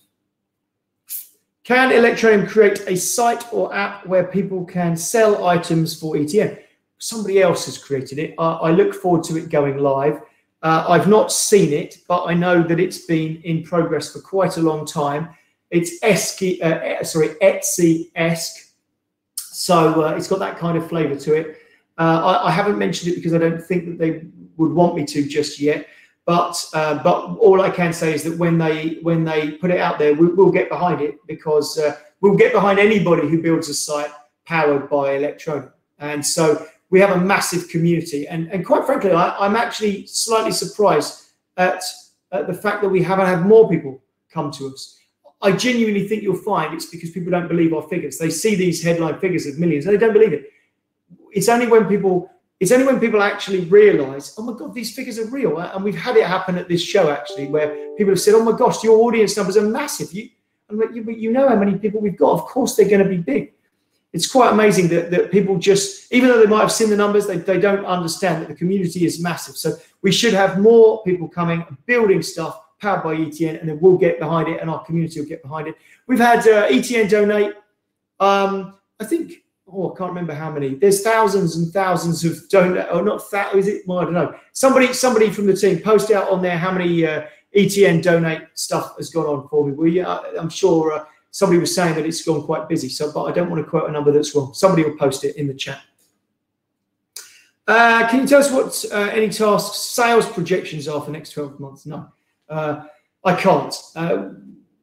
We, are still too early to start making sales projections for, for months in advance. Um, you can start doing that once you once you can associate a firm ad spend uh, to to to sales volumes. Uh, uh, and at the moment, we are very much testing that all over the place. So we're, we're testing all sorts of things and all sorts of strategies. We've got another big strategy being coded right now to, to supplement that because we've got another inroad somewhere else. But once you know what your advertising spend is for your return on investment on that advertising, and you know that doubling your advertising spend uh, doubles your return, you know, in, in, real terms, then you start doing forecasts and projections. Uh, we are not at that stage yet. Uh, that doesn't work infinitesimally, of course. You know, there's uh, the law of diminishing returns, but uh, we, we know we know what we're doing. We're getting it out there. Um, I, I, I, can't give you those projections yet, I'm afraid.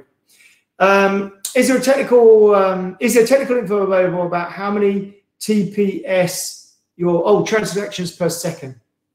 Uh, well, our, our blockchain uh, has got has got scalable block sizing. So um, whilst uh, whilst uh, I, I don't have that figure to hand, the best place, which I'm sure somebody would have already done this, is probably to Google uh, Monero Max TPS because whatever theirs is, and this is not me having a go at Monero, by the way. Once again, I always, whenever I say anything about Monero, I always want to say I was a very passionate believer in Monero and loved the project before I got involved and built Electroneum.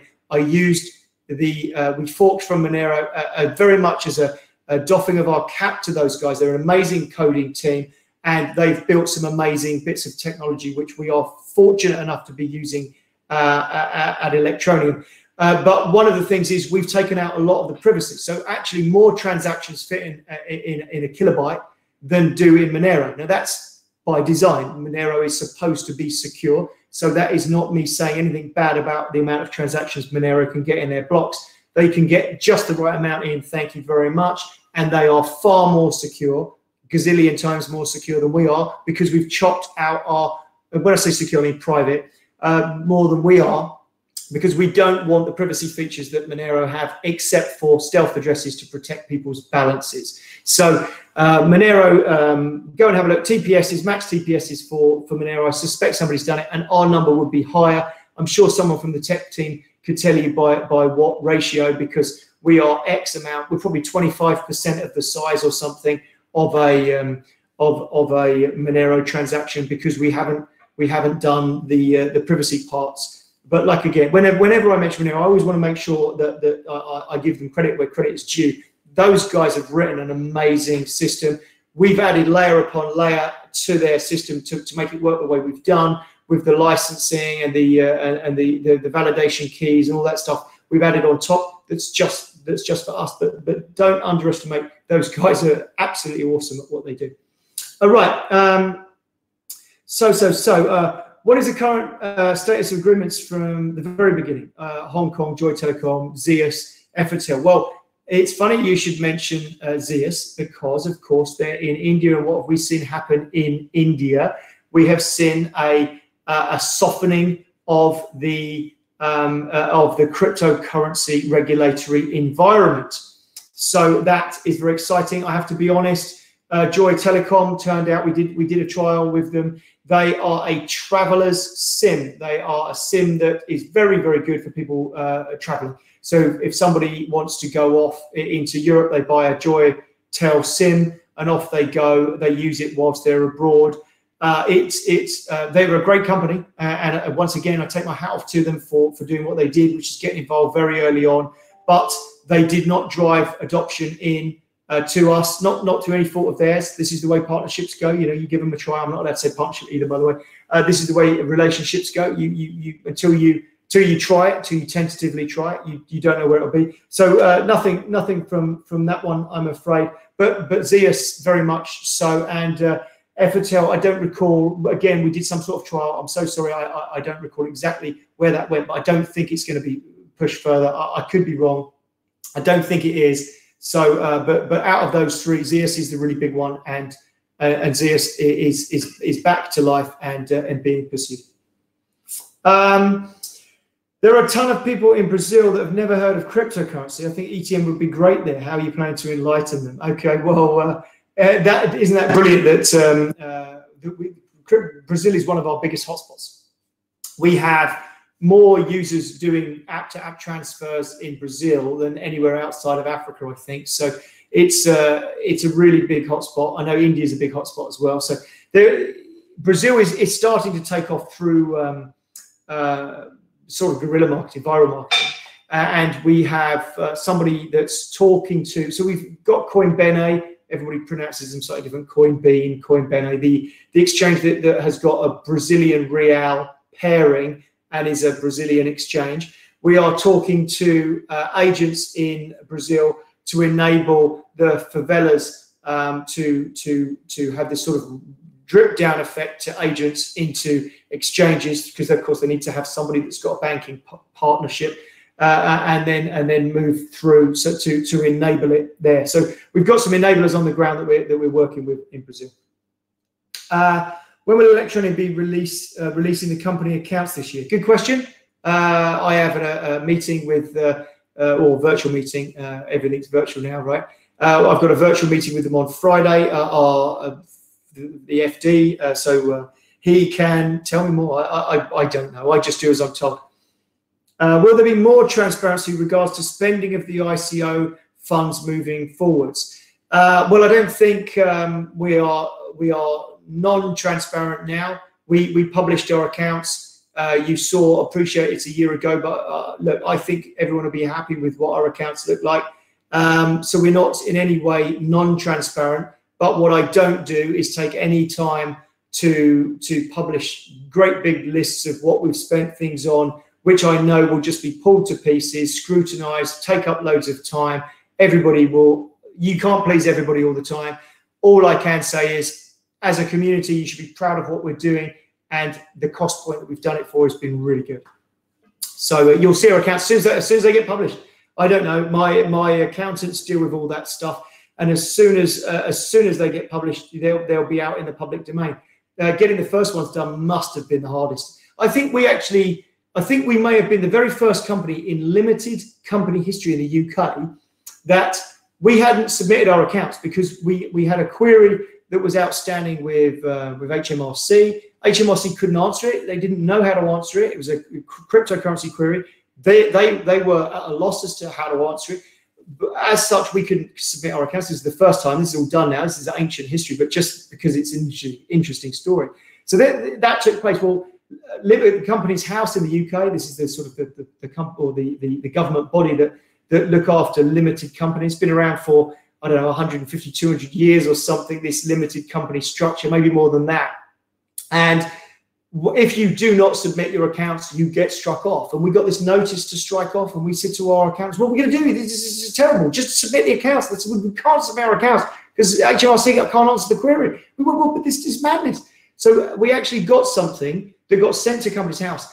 And in the history of Companies House, we went past an absolute deadline and didn't get struck off because this had never happened in the history of Companies House. They'd never had this situation where one government agency could not answer a question. And they were the reason we had to submit it. So eventually we got them submitted and it all and it was all fine and everything is, is completely fine and if you go and have a look at those accounts you can drill into them there's a, uh, a figure in there that you can see and make you you can draw your own conclusions as to, to where we were back then and uh, uh, you'll see the new ones soon. But it is interesting nonetheless that we are out there pathfinding. We're in uh, we're doing things that the uh, authorities have never seen of course. Just like anybody when, you when you're pathfinding and doing something brand new you're always going to experience a few problems. But i don't see that there should be any problems with submitting our accounts now. So um, as soon as i don't know i don't know what the deadlines are. Uh, what do you think uh, about Onyavin's report? Are you happy to be validated finally by such a source? Well, that report should be out next week. Uh, I didn't realize that uh, it was out in the public domain, that it was Onyavin that was doing it. But so Cointelligence have been uh, digging around, looking at us. Um, I mean, I, I it's, it's, a very dry uh, report in terms of, uh, uh, of, of what what there are. There's not too much opinion in it. It's more sort of factual. But look, I, I think uh, it's a total. Uh, to, to, my mind, it's a, a total vindication that, that, we're doing everything right. You know, I think you look through it, and there there are a few bits where they they are slightly negative. Like I say, uh, talking about sort of decentralized decentralized aspects and what the market think of of, of that but but we've done that for a reason, and we've done it to protect our users. There are a couple of other bits in it that um, that you can draw your own conclusions when you read it. But overall, the fact that we've invited them in and got them to look at our statistics, and the statistics are then quoted as being looked at, I think is going to be really important. Because it's all right for me to sit here and go, we've got 2.4 million app installs. I can do you a screen grab from, from the back end of, of Google or from the back end of Apple, but anyone can bodge a screen grab together. You know how much nonsense there is in this world. Having a third party, trusted, um, uh, and believable uh, validator that says, yeah, look, I've looked at those. I was logged in. It was the real site. It was Google. It was Apple. You know, it's it's it's really important to us, and and and we give them we'll give them access to anything that they want to see. So it'll be really interesting to see what the market think of that. Uh, have you been in talks with your own government about election? Yeah, of course, crikey, yeah. I mean, uh, just massively so. Uh, we we are, or, or, I guess you you've seen one or two things that have gone out there that I, I they they don't say Electroneum. So this is government paperwork. They doesn't say Electroneum, but I can't imagine that it's anybody else. You know that they're making references to to businesses in the UK. Um, when I think the the, the references just got to be us. So yeah, we, we're talking to the government. Absolutely, we we have of course we we are going to be regulated. We we are so by 2021 we have to be under the FCA umbrella. And so we've built a, a, whole system. We started building it years ago. We've, we've, built a whole system because we've always assumed we're going to be under the FCA's uh, regulatory umbrella. I think the application is, is due to go in any any second, imminent. So uh, you know that's that's um, where we're at. Uh, are you confident that ETN's website signups are going to grow now that people can't mobile mine? Well, I've covered that a little bit, I think, already. But uh, look, what does the market want? Does the market want me? Uh, bear in mind, we've grown it to millions and people don't believe it. They don't believe the number. So if that number stops growing and we start growing outwards within our user group and start making true successes where we have case study, case study, case study, case study, real people earning, real people benefiting their lives, real use of crypto, which is what everybody wants. You can't have mass adoption without going through adoption. Most cryptocurrencies, 99.999, I can throw a load more nines in, don't have any adoption at all. They might have market participation, but they have zero adoption. Nobody uses them to buy things. Nobody uses them to do anything. They might just be market participants, which is a different thing. We are very much adopted. So are we going to see that number grow as fast? No, of course not. But that was the that was the phase that we were in, where we had to we had to bring it in. We had to get wide distribution of coins, so there was plenty to move around the marketplace, move around the ecosystem. But I'm not bothered because our numbers of users stack up against everybody in the market. And like I say, even if you talk, talk about real users, real users buying real things, even Ethereum and Bitcoin, I guarantee that our 20,000 top ups in ETN in one week put us as, as, for that week the number one cryptocurrency in the world for real world adoption. It's, we, we're right up there. So maybe, maybe we, we maybe we were behind Bitcoin, but but over Ethereum for that. I don't know, but you get the idea. Let's let's give them both the credit. Let's say we were number three, just in case everyone starts quoting that. But I guarantee that we were the third at least, maybe the first, but 20,000 top ups plus all the other app to app transfers and everything else. Absolutely extraordinary. So uh, sign-ups, no, we won't get as many, of course. But but does that mean that, that that's a bad thing? No, it absolutely does not. It's a great thing. Focus on now growing the crypto community's uh, belief in the project again. Make sure that people understand that, that there's real world value that can be exchanged. There's tons of it out there, and that's enough to be used. Um, I see 1,400 plus businesses this everywhere. Well done. Can we, what can we expect from this website in the future in terms of new features? Oh, there are more. Um, I, I, um, it's it's got lots of stuff for becoming an ambassador, making use of um, uh, of of of promoting locally. There's all sorts to come on there. I, have literally not got. To, oh, and then again, actually, I think I might have come to the end of the question. So actually, might be able to answer a bit longer. So, I think the ambassador parts of it is the most important thing. ETN everywhere. We've created a whole sort of a structure for how you can become an ambassador and how we can financially help you to to run small events. So not not these sort of giant digital uh, global north events, but but small. You know, we put on a little bit of food and uh, and some sandwiches or whatever, and and just to have a small amount of people to come in and learn about AnyTask and learn about um, about ETN and, and how we can drive um, drive value and, and give benefit. And and those people uh, will be looked after, you know, and they become ETN ambassadors, and then there's feedback and how it all works, etc. So lots coming for ETN everywhere, and some of that has already been. Uh, funnily enough, we, we actually switched some of it off to get it live because it wasn't quite finished. We thought better to get it live for the expo so that everybody can see it and uh, and understand what we're going. Get the mapping section live, get the uh, business addresses live. So we'd actually some, of that other stuff is, is a whisker away. Uh, can you tell uh, which market is growing most today and which markets and countries will ETN enter in the future? Uh, I, I, have absolutely no problem whatsoever with, with publishing those figures. Uh, I, I, can't tell you because I don't know off the top of my head, but I, I, dare say we could ask Ellen, who's our data analyst, to, to run out and say which, from, from top to bottom, which are the busiest. Uh, and, again, it depends what, what you call, um, I mean, the question is, uh, are growing most. So Okay, so is that growing most by app to app transfers? Is it growing most by app top ups? Is it growing most by user numbers? So China was always our biggest, fastest growing market. Why? Because most bots came from China. So we had to take that out of our data set. So again, you see, there can be some misleading things in your data sets. So what we um, what we will have by not having any interest to the bots, that will be really beneficial to us as well for doing analytics because uh, when uh, people had realized, when the botters had realized that actually uh, some regions were getting uh, paid out a full three dollars, other regions weren't. Of course, suddenly they did they stopped being in China and they they got proxies and started all arriving from South Africa, all arriving from Uganda, all arriving from Cambodia. They weren't in Cambodia, they weren't in South Africa, they were the same Chinese botters that we had before. But getting rid of that actually makes our figures much clearer and makes our data uh, analytics job slightly easier too. Uh, uh, and in terms of markets and countries to enter, I don't think we're going to be uh, manually pushing to to to go out uh, anywhere uh, that, that we don't have a hotspot in, it, with the exception perhaps of Ghana, I think, because there's a project there that, that we're looking at. Um, we don't have a great deal of, uh, of adoption in Ghana yet, but but we but we have got the ability to work on the ground there with someone. So um, we might well be, be, be looking there. But there, there, there will be other areas coming on. Is there a way to partner directly with ETN? How does a large player reach out to you to partner? Uh, the word partner strikes fear into my lawyers' hearts as well. For some reason, I couldn't tell you why.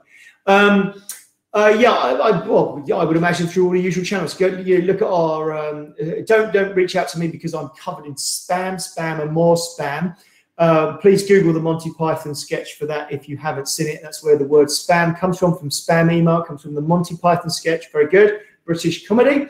Um, So uh, my inbox is literally loaded with with spam, and no matter what I seem to do, I always get more spam. Uh, but if you look at the other members of the team, like Ollie or, or Jonathan or the COO Nick, reach out on their on their LinkedIn, and, and they they they entertain this all day long, uh, and and people do. Yeah, we've got um, exchanges reaching out and, and, various other things. In fact, this expo has we've had a few exchanges reach out to us, which is interesting. Uh, again, it might mean that we have to wait for our US lawyers to to finish their work before we can use some of those exchanges, but uh, we are absolutely on that as well. Uh, do you know what? I, I think I only have one more question. Timing is absolutely pretty much perfect. I can witter for 10 minutes without a problem. Uh, if someone asked you in 2017, where would you see ETN after three years? Would you, uh, what would you have told them? And has it met your expectation? What a great question to have at the end. Um, whew, that's a difficult call in terms of, uh, uh, uh because part of my answer um, you're going to have to read between the lines on because uh, I'm not allowed to talk about, so you can guess yourself what that means. Um, I, uh, I, I'm very, very, very pleased with adoption. We, we're actually able to be spent in, in more places and more countries around the world than I anticipated. I rather hoped we would have been um, available to use in a gig economy site. I was reaching out to them very early on, didn't get any of those, which is why we started writing our own. But I'm exceedingly pleased that we have control. Control of that gives us so much more power. For instance, straight away, had we partnered with, uh, there's a dreaded word again, had we partnered with Fiverr, remember that our, our, people that would be earning ETN would still be losing their 20% uh, fee straight away. So Fiverr would still be taking 20% off the top uh, from some of the poorest people in the world. So I, I, much prefer the fact that what we've done, and during this COVID crisis, we've, we've taken all the fees off altogether, but we will be having a low fee, 5%, creeping to 10% once we've got this out into the, into the wider world and it's very well embraced. We will be putting that fee, but to the buyer. The buyers are the ones with the money. I appreciate why Fiverr did it the way around they did, because they are they don't want to disincentivize their buyers, so they push the costs down to the seller. But ultimately, the sellers really feel that. And I, and I think one of our biggest differentiators from a seller's perspective is that there are no fees to them whatsoever. So I'm really pleased with AnyTask, like ridiculously pleased actually, uh, and its adoption and and and the amount of. I mean, who would think about it? Go. There have been a few gig economy sites tried before in crypto. How many of them have listed 500 tasks? I don't I don't think any of them. Some of them have had some very dodgy things listed on them uh, because crypto has this sort of a pseudonym, pseudonym yeah, I can't say that. Uh, anonymity or pseudonymity is that the word? Uh, so yes, it gives you this ability to to remain um, uh, partly anonymous or anonymous, and so so there's criminal things being sold on on uh, on crypto blog uh, sorry, crypto uh, freelance sites. We don't have any of that. So we've kept it again within that regulatory framework. We're making sure it's clean and it's massively, massively been adopted. We are we are a contender with those with the big platforms because we've got such vast amounts of, of, of people uh, selling stuff on this. So you can find what you're after. And that, that's only going to grow. We're only a few months old on AnyTask. So that's going to grow and grow and grow. So we am I pleased with where we are? No, I'm over the moon with where we are. 140 countries you can top up your airtime and data in. Never dreamed we'd be there. Never dreamed it. So it's amazing. Virtually everybody in the world can realize value to ETN without having a bank account. Did I think we'd be there? No, I didn't. So we, we're massively surpassed that. I've been a bit disappointed in crypto market terms. Like I say, I, I, I can't talk about that um, uh, fully, except to say now the ecosystem is complete. And we are genuinely a top five crypto by every single standard. Go and have a look at our Alexa website traffic is verified. So we've got the verified thing. We installed the verified thing. That's an Amazon company. They cut out all the bots. They cut out all the nonsense. Those are verified stats. Then go and have a look at all the other projects. You do your own numbers. We're a top five cryptocurrency by every single standard except one. And I'm not going to talk about what that one is, but do we deserve to be a top five cryptocurrency by every standard? Of course we do, right? We're, we're smashing it out. We've got real world adoption. And that's what everybody in crypto talks about, but no one's achieving except us. Not a handful of other people are achieving. You know, uh, Dash is out there achieving it. Monero's out there achieving it. Some other people are out there achieving it in real world usage. Uh, Bitcoin's obviously achieving it and Ethereum's achieving it, but it's a handful. It's a handful. It's a tiny, tiny, tiny handful of real world. There's a lot of massive projects that you look at and think, okay, well, that's a massive project. Look how much is being traded. But then you go and find, you try and find one person that said, oh my God, I used it to do this. You know, there are decentralized finance projects that are out there, and you say, well, what, what, show me an actual user that's done something, not not a crypto community member that said, oh, that's funky, that's cool, I'm going to do it. No, no, no. Find me a real world benefited user. They, don't, they can literally have none and still be considered this this sort of bastion of strength. So we we absolutely have smashed it out of the park in delivery, hundred percent. And I'm really really proud of what the team have done. And uh, and uh, we we definitely need to bring the crypto community back into the fold, and we need to get people that don't understand what Electroneum has delivered to understand it. And we we are on that. I can promise you that we are on that as a very much a large chunk of phase two will be to make sure that everybody's aware and we're singing from the rooftops that we are that we are an amazing project that has delivered amazing results that are actually genuinely bringing benefits and not just not just a, a bunch of, of trading. Uh, um, there's other people. I'm just reading some of the questions here now. Uh, thanks for saying thanks, everybody. I really appreciate that. Um, it's very kind of you to make some of some, some of these comments. So uh, I've sort of come to a to a stop a little bit early. If there are any questions, um, uh, I see. So uh, I've just had a question from uh, Nick Klaus um, Schmidt. Uh, why will you beat Bitcoin? So again, I can't talk about price point, but Bitcoin, I see. I mean, I use Bitcoin to make payments. So, but Bitcoin, I see as a, almost like a cryptocurrency gold standard. People use Bitcoin and they invest in it, and Bitcoin is is probably more a speculated asset than it is uh, uh, uh, an asset that is being used to, to buy things, but it is being used to buy things, but again, largely by the crypto community. So, you know, we've got real people that are gaining a benefit, and so has Bitcoin. But Bitcoin's adoption rate, because of where it's at, I think has been mostly by speculators. Uh, I don't, I don't want to beat Bitcoin because there's room in the market for everybody. And is there room in the market for us alongside Bitcoin? Absolutely, there is. We are an enabler for Bitcoin, and, and we should be an enabler. So, so somebody, remember, these unbanked people can't get access to Bitcoin, but if they earn some ETN, they can atomic swap it. There are one or two places out there that will do you a swap for Bitcoin without you having a bank account. So you could go out and you could get some Bitcoin. So so we've become an enabler for Bitcoin, and so we should be. I mean, I'm a big big uh, proponent. I, I, love Bitcoin. So uh, there we go. What else have we got? Oh, what are, what do plans do? I can't answer that one. Can't answer that one. Uh, right. Okay. Well, uh, there was an interesting one there about uh, about big brands.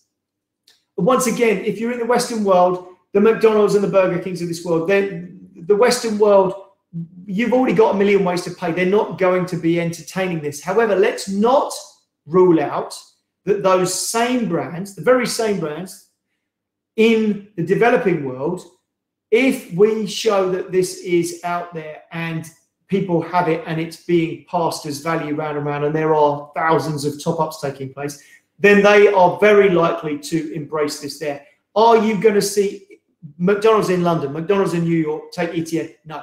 Will you ever see it? Probably not. It's not what ETN's for. It's not, we don't need it. You know, I don't want anyone to think, oh my God, no, we're not going to be in New York. We don't need it. It's not what we're built for. If we if we had uh, a million people genuinely using Electroneum every single day, that would be more than any other cryptocurrency in the world. That would put us at the number one slot. One million people using it every single day in their real lives. Uh, getting paid. Remember that how many people in the world genuinely get paid in Bitcoin? It's only going to be thousands. If we can get to tens of thousands, hundreds of thousands, uh, people getting paid on on on Electroneum, then we're, we're right up there with the Bitcoin. But we're not trying to compete with Bitcoin, and we're not trying to get listed uh, in, in, London or, or, or whatever with uh, with with these big brands. That's not what we're about. Um, ETN vending machines. Well, we, we do you remember the gumball? Who remembers the gumball machine? I love that gumball machine. QR code on a gumball machine, scanned it, and by the magic of um, uh, of, of of push notifications or some mysterious sim technology, the gumball machine threw gumballs out. I loved that gumball machine. It was at our MWC stand uh, in Barcelona. And vending machines we could definitely, definitely, definitely work with. If you can throw a QR code up on the screen, you can have contactless vending with our API, no problem whatsoever. But what we need to do first is find again the hotspots and then find out whether in those hotspots there are likely places that will have such a high-tech vending machine.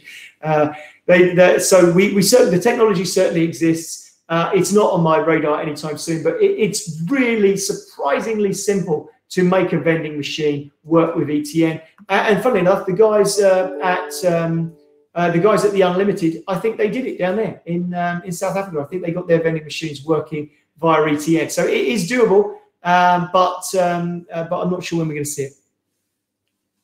Uh, somebody just Martin. Uh, I've been uh, guilty of activating the gumball machine a few times. I've got a job for it. I couldn't help myself either. It was just so it was so fun. I feel like we should have a webcam on the gumball machine so that when people make a ETN donate of any kind, a gumball drops out. That would be fantastic. Somebody's waving at me and doing this, which I'm assuming means they're making me a cup of tea. Let's hope so. Guys, I've got to leave apparently. It's been an absolute pleasure. Uh, I'm sorry uh, I have not answered absolutely everything. I really appreciate everyone coming and, and watching me witter on. Uh, thank you for being part of the crypto community. Thank you for being part of the Electroneum community. And thanks for all your passion and kind comments. Really appreciate it. Stay safe. Be well.